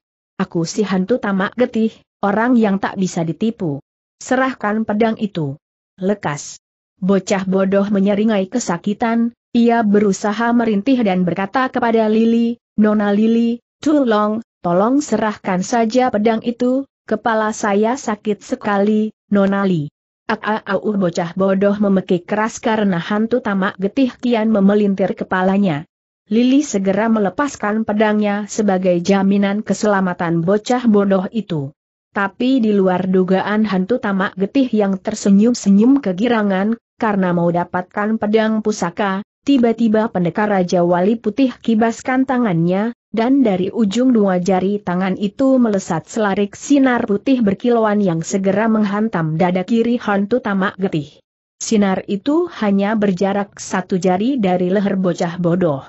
Jika bocah bodoh bergerak, maka sinar putih itu akan kenai leher bocah bodoh. Tapi untunglah bocah bodoh tidak bergerak walau menahan sakit, sehingga sinar itu tepat kenai dada kiri dekat pundak orang yang siap memelintir kepalanya. Zlaap. Duup. Hantu tamak getih terpental dengan tangan mengembang karena menahan rasa sakit dan panas yang tiada bandingnya itu. Mengembangnya jemari tangan hantu tamak getih membuat Pegangan pada kepala bocah bodoh terlepas dan orang itu tersentak mundur sambil memekik. Cola Colo justru diam saja, terbengong melompong memandangi hantu tamak getih terpental dan jatuh duduk di bawah sebongkah batu. Tua usil segera berteriak. Bocah bodoh. Lekas kemari. Jangan di situ terus. Huh. Memang dasar manusia bodoh homel tua usil, merasa jengkel oleh kebodohan Cola Colo. Tapi ketika bocah bodoh mendengar seruan tua usil, ia segera sadar dan cepat lari bersembunyi di salah satu gugusan batu. Hantu tamak getih menggerang liar. Matanya memandang dengan buas dan angker. Ketika itu, ia segera kerahkan kekuatan tenaga dalamnya dengan mengangkat dua tangan dalam keadaan kaki berdiri merenggang, lalu dari tangan yang disentakan pendek itu keluarlah sinar putih dari ujung ke sepuluh jarinya itu. Haaah. Zraap. Kesepuluh sinar putih tertuju semuanya ke tubuh Lili. Pendekar Raja Wali Putih tahu-tahu seperti menghilang, padahal bergerak dengan sentakan jempol kaki ke tanah cukup pelan. Zlaap. Tahu-tahu pendekar Raja Wali Putih sudah berada di belakang hantu tamak getih. Orang berwajah angker itu sempat kebingungan mencari ke mana perginya gadis cantik yang membawa pedang pusaka tersebut. Ketika ia kelingak-kelinguk begitu, Lili mencolek pundaknya dari belakang. Hantu tamak getih menoleh. Blook. Gerakan kepala yang menoleh ke belakang itu dibarengi dengan hantaman tangan yang berkekuatan tenaga dalam tinggi. Pukulan itu membuat wajah Hontu tamak getih bagai dihantam dengan batu sebesar kepala kerbau. Tubuhnya terpental tanpa ampun lagi. Kepalanya membentur batu besar dalam jarak tiga tombak di belakangnya. Prak. Tubuh yang tersandar berlutut di batu itu segera dihantam oleh Lili dengan pukulan yang memancarkan sinar putih keperakan dari tangan kanannya. Klaap. DS. Selarik sinar putih keperakan itu membuat tubuh hantu tamak getih terlempar ke atas tinggi-tinggi dengan dada mengepulkan asap. Ia tak mampu memperoleh keseimbangan tubuh, sehingga ketika bergerak turun, tubuhnya bagai dibanting dan gan sangat kuat. Beruh. Prak. Ak-auh erang hantu tamak getih, matanya terpejam rapat-rapat. Mulutnya semiurkan ludah darah yang kental dan segar. Lalu dia segera bangkit, dan dengan sisa tenaganya ia melarikan diri. Tanda bintang. 8. Pengejaran yoga kali ini berhasil. Ia memotong jalan dan menghadang di balik gundukan tanah cadas.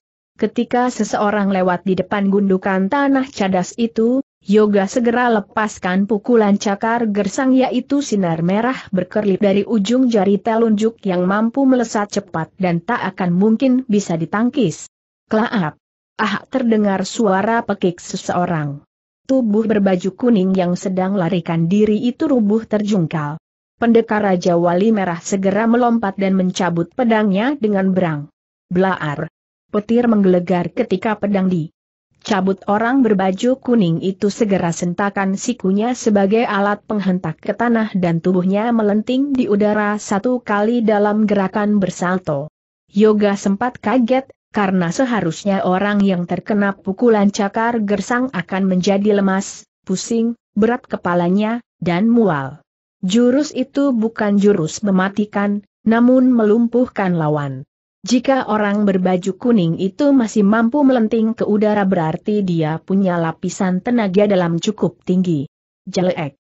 Orang itu mendaratkan kakinya ke tanah bersamaan dengan kedua kaki juga berpijak di tanah dari lompatannya tadi. Pedang yoga masih terangkat ke samping dengan nyala biru pijar yang memercikan bunga api berkelok-kelok mengelilingi tepian pedang. Mereka saling pandang dan Yoga baru mainnya dari siapa yang ia hadapi kala itu. Detak jantungnya semakin keras, pikirannya pun menjadi sangat kacau. Tangannya gemetar memegangi pedang, dadanya gemuruh karena tak dapat menentukan perasaan, serta tak bisa memutuskan langkahnya. Orang yang dikejarnya adalah gadis cantik berambut panjang dengan ikat kepala merah. Ia mengenakan ikat pinggang biru dari kain selendang yang bisa digunakan sebagai senjata maut. Ia juga mempunyai pedang pendek warna hitam. Gadis berusia sekitar 20 tahun itu adalah gadis yang hadir dalam pemakaman Dewa Gledek, gurunya Yoga. Hanya Yoga dan gadis itulah yang ada pada saat sang guru dimakamkan. Dengan suara bergetar Yoga menyebut namanya lirih, Mahligai. Gadis itu masih menatap Yoga dengan mata tajam, tapi pedangnya segera dimasukkan. Metu itu tak berkedip, seakan menembus masuk ke dalam hati pendekar Raja Wali Merah. Hal itu membuat seluruh tulang Yoga bagaikan patah, urat-urat tubuh bagaikan putus semua.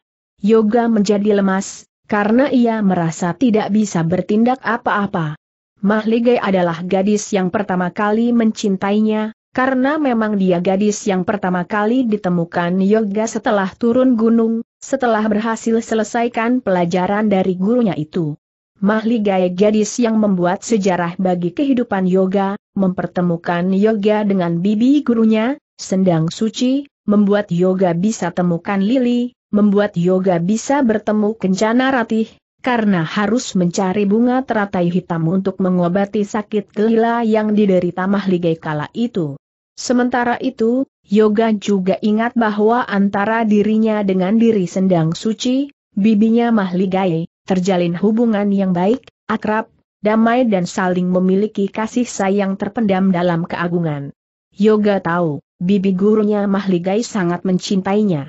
Tapi perempuan yang dijuluki tabib perawan itu punya pertimbangan lain, sehingga ia mundur secara damai dari harapan mencintai Yoga, sebab ia tahu keponakannya sendiri juga mencintai Yoga, dan Mahlige itulah gadis pertama yang jatuh cinta kepada Yoga.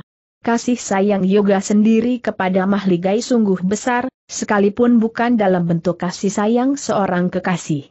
Karenanya, saat-saat seperti ini Yoga diguncang jiwanya oleh suatu penentuan yang memberatkan hati. Dalam hati, Yoga mempunyai suatu pengharapan yang tipis, namun tetap ia coba untuk bertanya. Kaukah yang membunuh Kencana Ratih, Lembayung Senja, Jalak Hutan, dan Mutiara Naga? Ya, aku yang membunuh mereka jawab mah. Ligai dengan tegas. Harapan tipis itu lenyap dari hati Yoga. Padahal semula ia berharap semoga bukan mahligai orang yang membunuh mereka. Semoga hanya melukai Lili saja yang dilakukan oleh Maligai. Tapi gadis itu telah mengaku dengan tegas-tegas di depan Yoga, yang membuat Yoga terasa sulit menelan ludahnya sendiri. Kupelajari jurus pedang milik Bibi Sendang Suci secara diam-diam. Setelah ku kuasai, saat ku merebut dirimu dari tangan-tangan mereka telah tiba. Sayang sekali aku belum bisa berhadapan muka dengan Lili, sehingga aku tidak bisa membunuhnya. Tapi kurasa racun di dalam senjataku yang tertancap di tubuh pendekar Raja Wali Putih telah cukup membuat gadis itu akan mati dalam beberapa saat nanti. Yoga memasukkan pedangnya, lalu menarik napas dalam-dalam. Sementara itu, Mahligai mulai kelihatan merah matanya, berkaca-kaca bagai menahan luapan kemarahan yang bercampur kesedihan. Gadis itu masih bicara walau tidak memandang yoga. Tak kubiarkan orang lain menguasai hatimu. Selama ini aku sudah bersabar untuk tidak menyerang mereka, tapi mereka terasa semakin menjerat hatimu. Maka, satu persatu mereka harus kulenyapkan.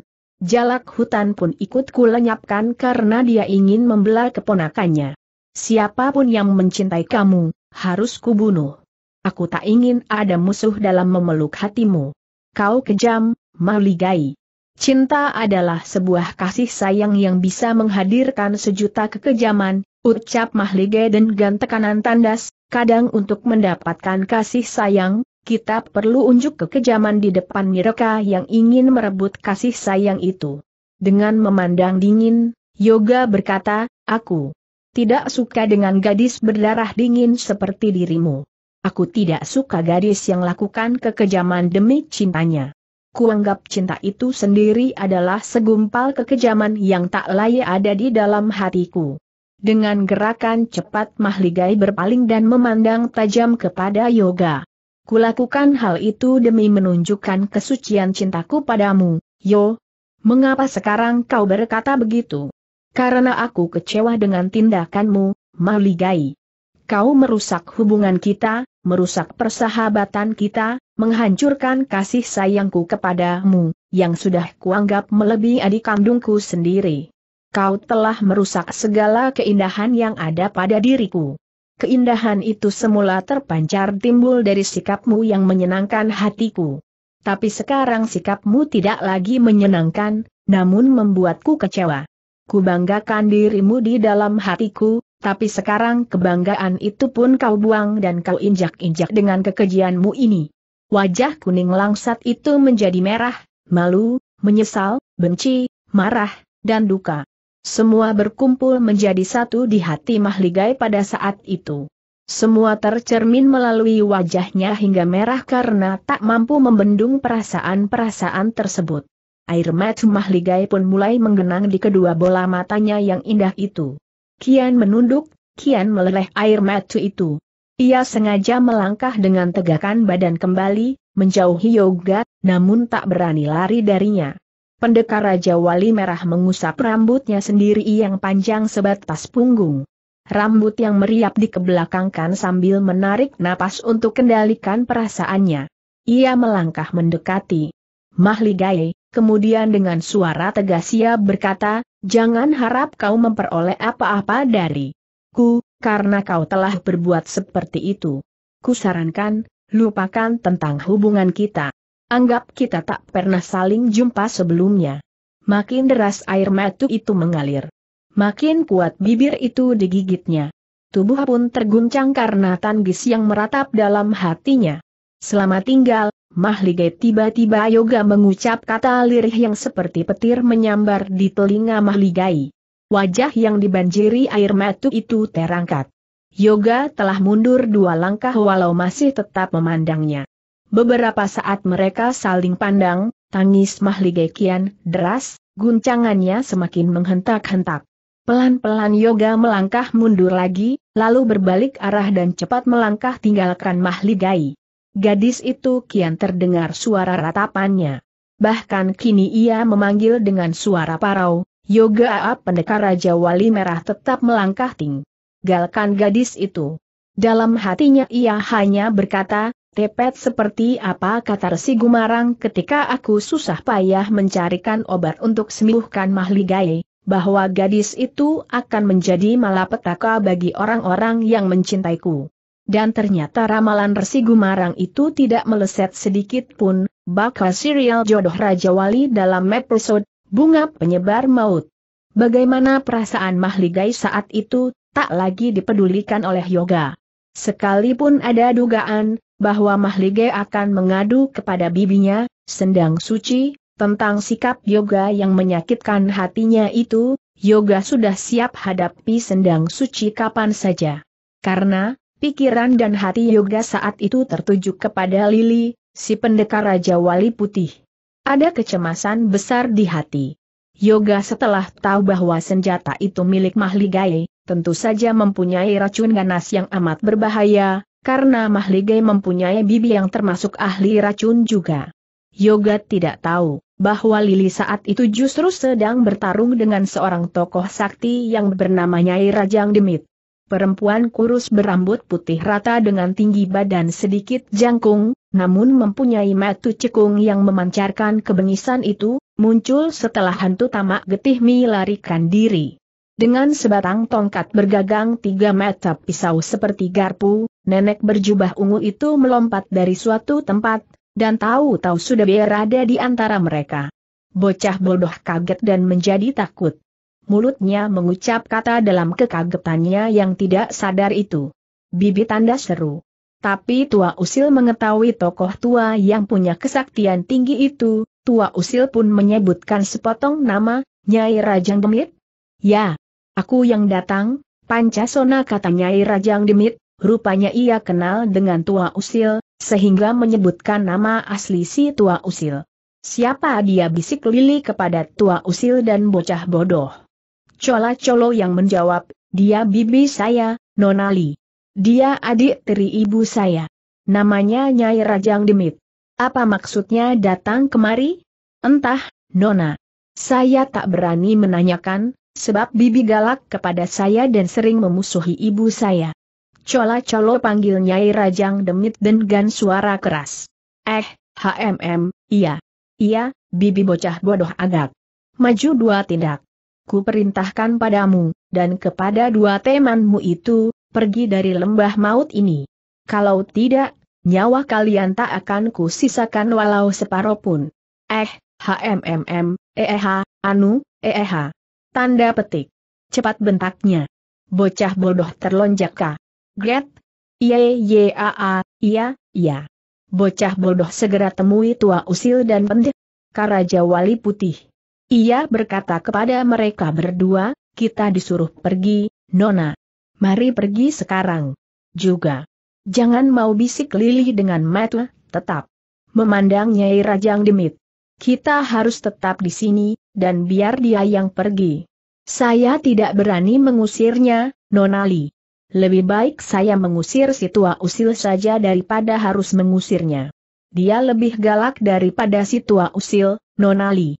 Biar aku yang mengusirnya bisik Lili sambil menggapai tubuh bocah bodoh, menyingkirkan tubuh itu, lalu Lili maju tiga tindak. Kami tidak ingin tinggalkan tempat ini kata Lili dengan lantang dan berani. Nyai Rajang Demit sunggingkan senyum sinis dan berkata dengan nada dingin. Siapa dirimu, sehingga ikut campur dalam masalah prasasti tonggak keramat? Apakah kau tahu banyak tentang prasasti itu? Aku ada di pihak bocah bodoh yang ingin diperdaya oleh bibinya sendiri kata Lili tegas-tegas, seakan ia sudah bisa mengetahui apa yang ingin dilakukan oleh Nyai Rajang Demit itu. Agaknya kau juga ingin memiliki pusaka itu, gadis dungu. HMM. Jangan mimpi kau bisa ambil. Bagian dalam perkara prasasti ini. Gurunya Sembur Maut adalah guruku juga. Hanya aku dan Sembur Maut yang punya hak atas prasasti ini. Apa pun yang ada di dalam prasasti adalah hak kami, karena itu merupakan peninggalan guru kami. Sudah ku tahu sebelumnya, bahwa hanya Nyai Sembur Maut yang punya hak untuk memegang pedang pusaka itu. Pedang itu akan diturunkan kepada anaknya, yaitu bocah bodoh.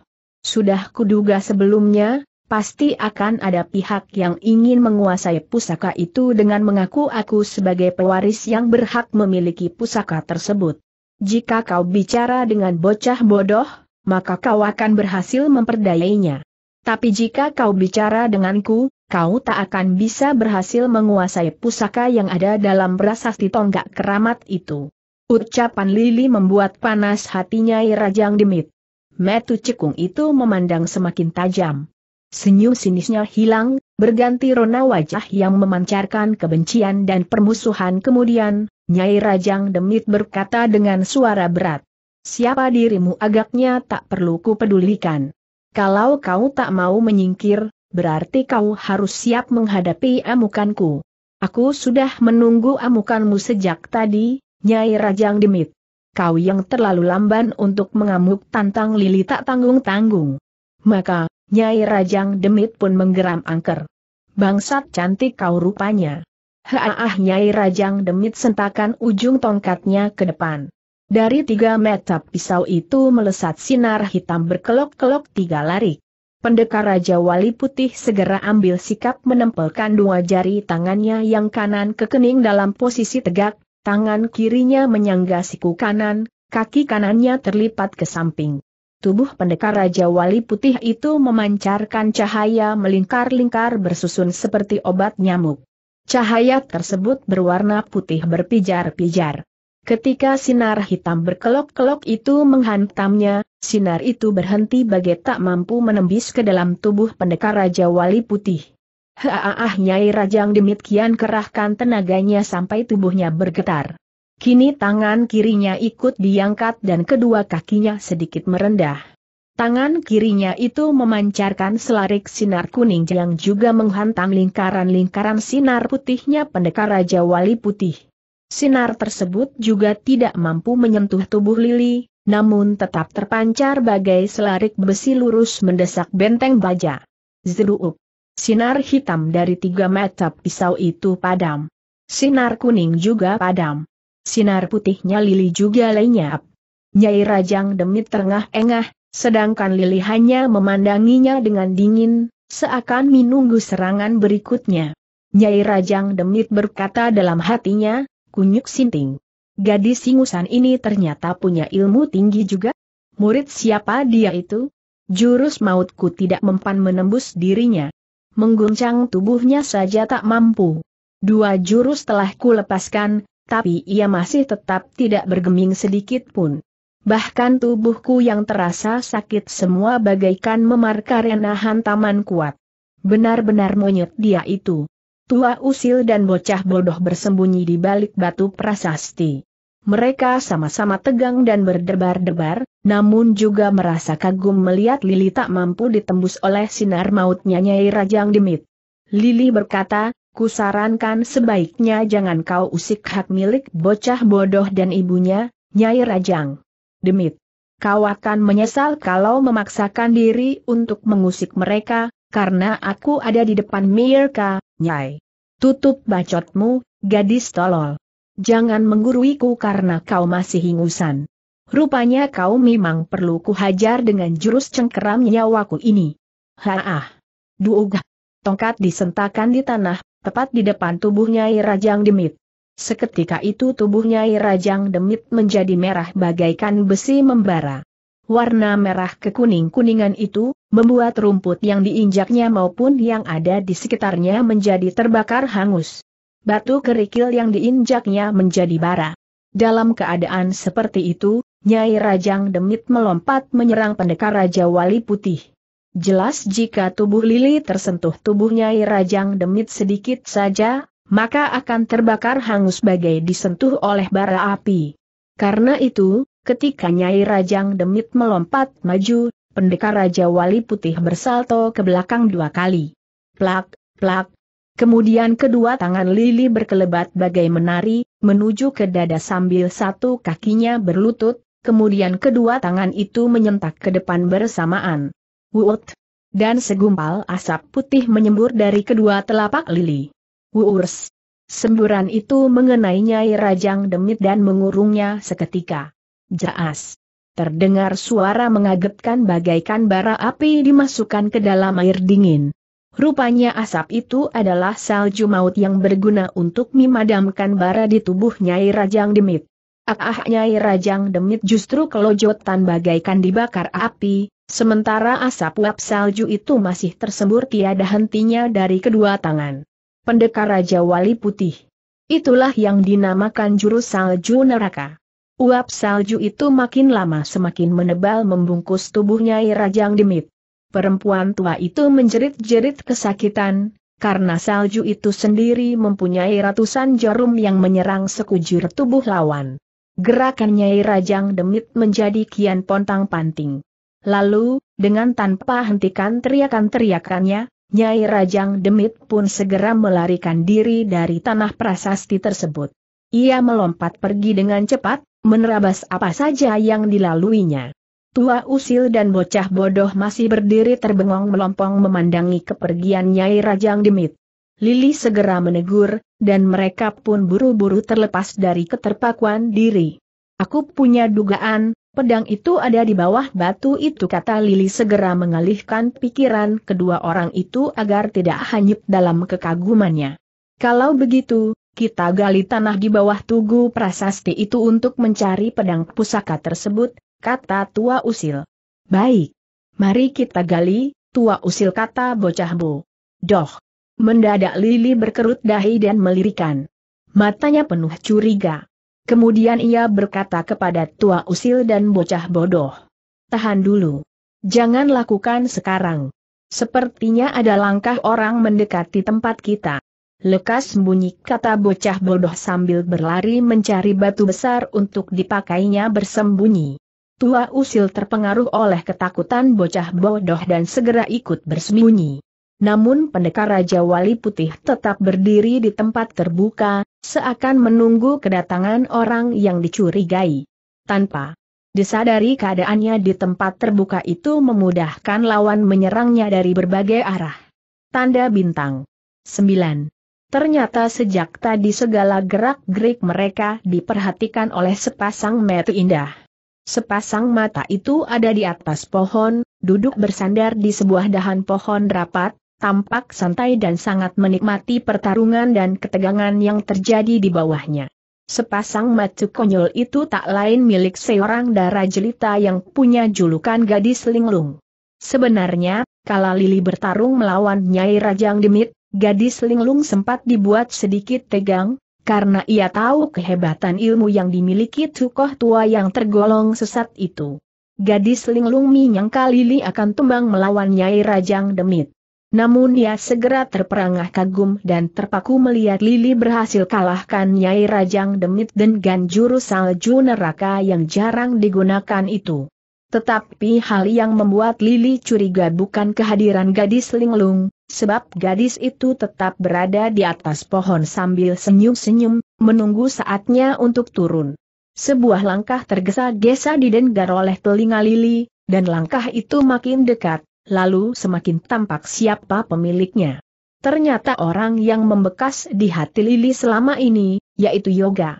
Pendekar Raja Wali Merah itu semakin mempercepat langkah melihat Lili berdiri bagai menunggu kedatangannya. Hatinya sedikit merasa lega melihat Lili. Sehat dan masih tegar berdiri di depannya. Yoga pun segera sunggingkan senyum menawan yang sebenarnya sangat disukai oleh guru angkatnya itu. Bagaimana luka guru tanya Yoga sambil memandang bagian pakaian Lili yang robek itu.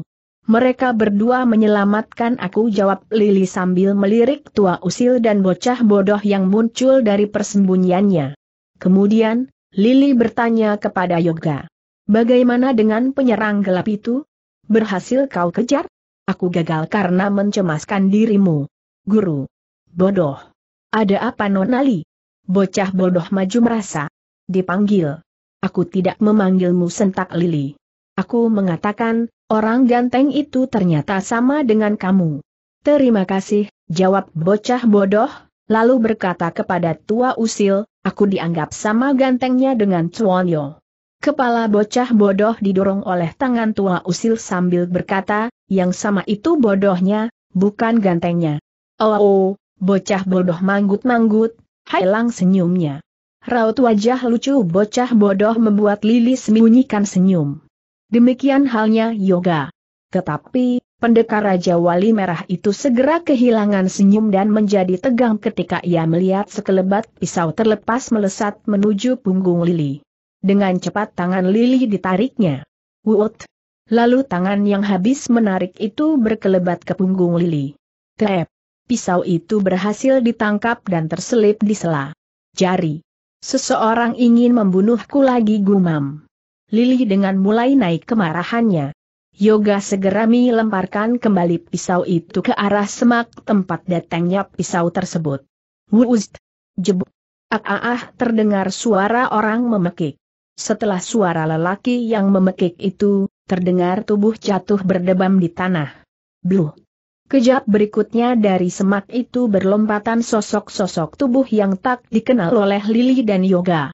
Tiga manusia angker berdiri di depan mereka, dua di belakang, satu di depan. Yang di depan kenakan pakaian hijau dengan kain jubah longgar hitam dan rambutnya putih beruban. Wali kubur tanda seru ucap bocah bodoh. Yoga berbisik dalam tanya. Siapa mereka? Orang perguruan lereng Lau. Ketuanya yang berdiri di depan itu, Tuan. Namanya Wali Kubur. Jahat sekali dia kepada ibu dan saya. Terdengar suara orang berusia sekitar 60 tahun itu berkata kepada bocah bodoh. Bocah bodoh, mana hasil kerjamu, nak? Ibumu memintaku menjemput kamu dan menjaga pusaka itu. Bocah bodoh menjawab dengan takut, belum digali, Paman Wali Kubur. Kami, kami baru akan menggalinya. Tunggu sebentar. Pendekar Raja Wali Merah berkata, tidak ada pusaka di sini. Hei, jangan turut campur urusanku. Apakah kau belum kenal siapa aku, hah? Kuremukan mulutmu sekarang juga baru tahu rasa kau. Cobalah tentang yoga. Senyum sinis dipamerkan sebagai ejekan. Ternyata wali kubur menjadi terpancing amarahnya. Kedua muridnya ingin maju menyerang, tapi ditahannya. Ia sendiri yang segera melangkah maju dan tahu-tahu kakinya menyentak, tubuhnya melayang bagaikan terbang, seperti harimau menerkam mangsa. Hia ah. Sebenarnya Yoga ingin menghadapinya sendiri, tapi tiba-tiba Lili segera maju dan sentakan kedua tangannya yang membentuk cakar dari samping telinga kanan kiri. Satu sentakan pendek telah hasilkan cahaya putih keperakan. Cahaya itu menghantam kepala wali kubur, Zaab. Kemudian tubuh wali kubur itu jatuh bagaikan tak mampu bergerak dalam lompatannya. Sedangkan dua larik sinar putih keperakan tadi meresap masuk ke telapak tangan Lili. Guru teriak kedua muridnya di belakang. Kedua orang itu maju menyerang bersamaan. Tapi Yoga segera sentakan kaki dan melesat lompat ke depan, dua kakinya menendang secara bersamaan. Draag. Tendangan itu sama-sama kena dada dua murid wali kubur, dan keduanya sama-sama terjungkal kembali ke tempat semula. Wali kubur cepat berdiri dan segera sentakan kedua tangannya ke arah Lili tetapi ia terkejut dan menjadi tegang. Tangan itu tidak keluarkan sinar tenaga dalam sedikit pun. Ia ulangi beberapa kali, tapi ia tidak melihat ada sinar keluar. Bahkan beberapa jurus maut dan jurus yang paling andal digunakan. Tapi semuanya tak bisa digunakan lagi.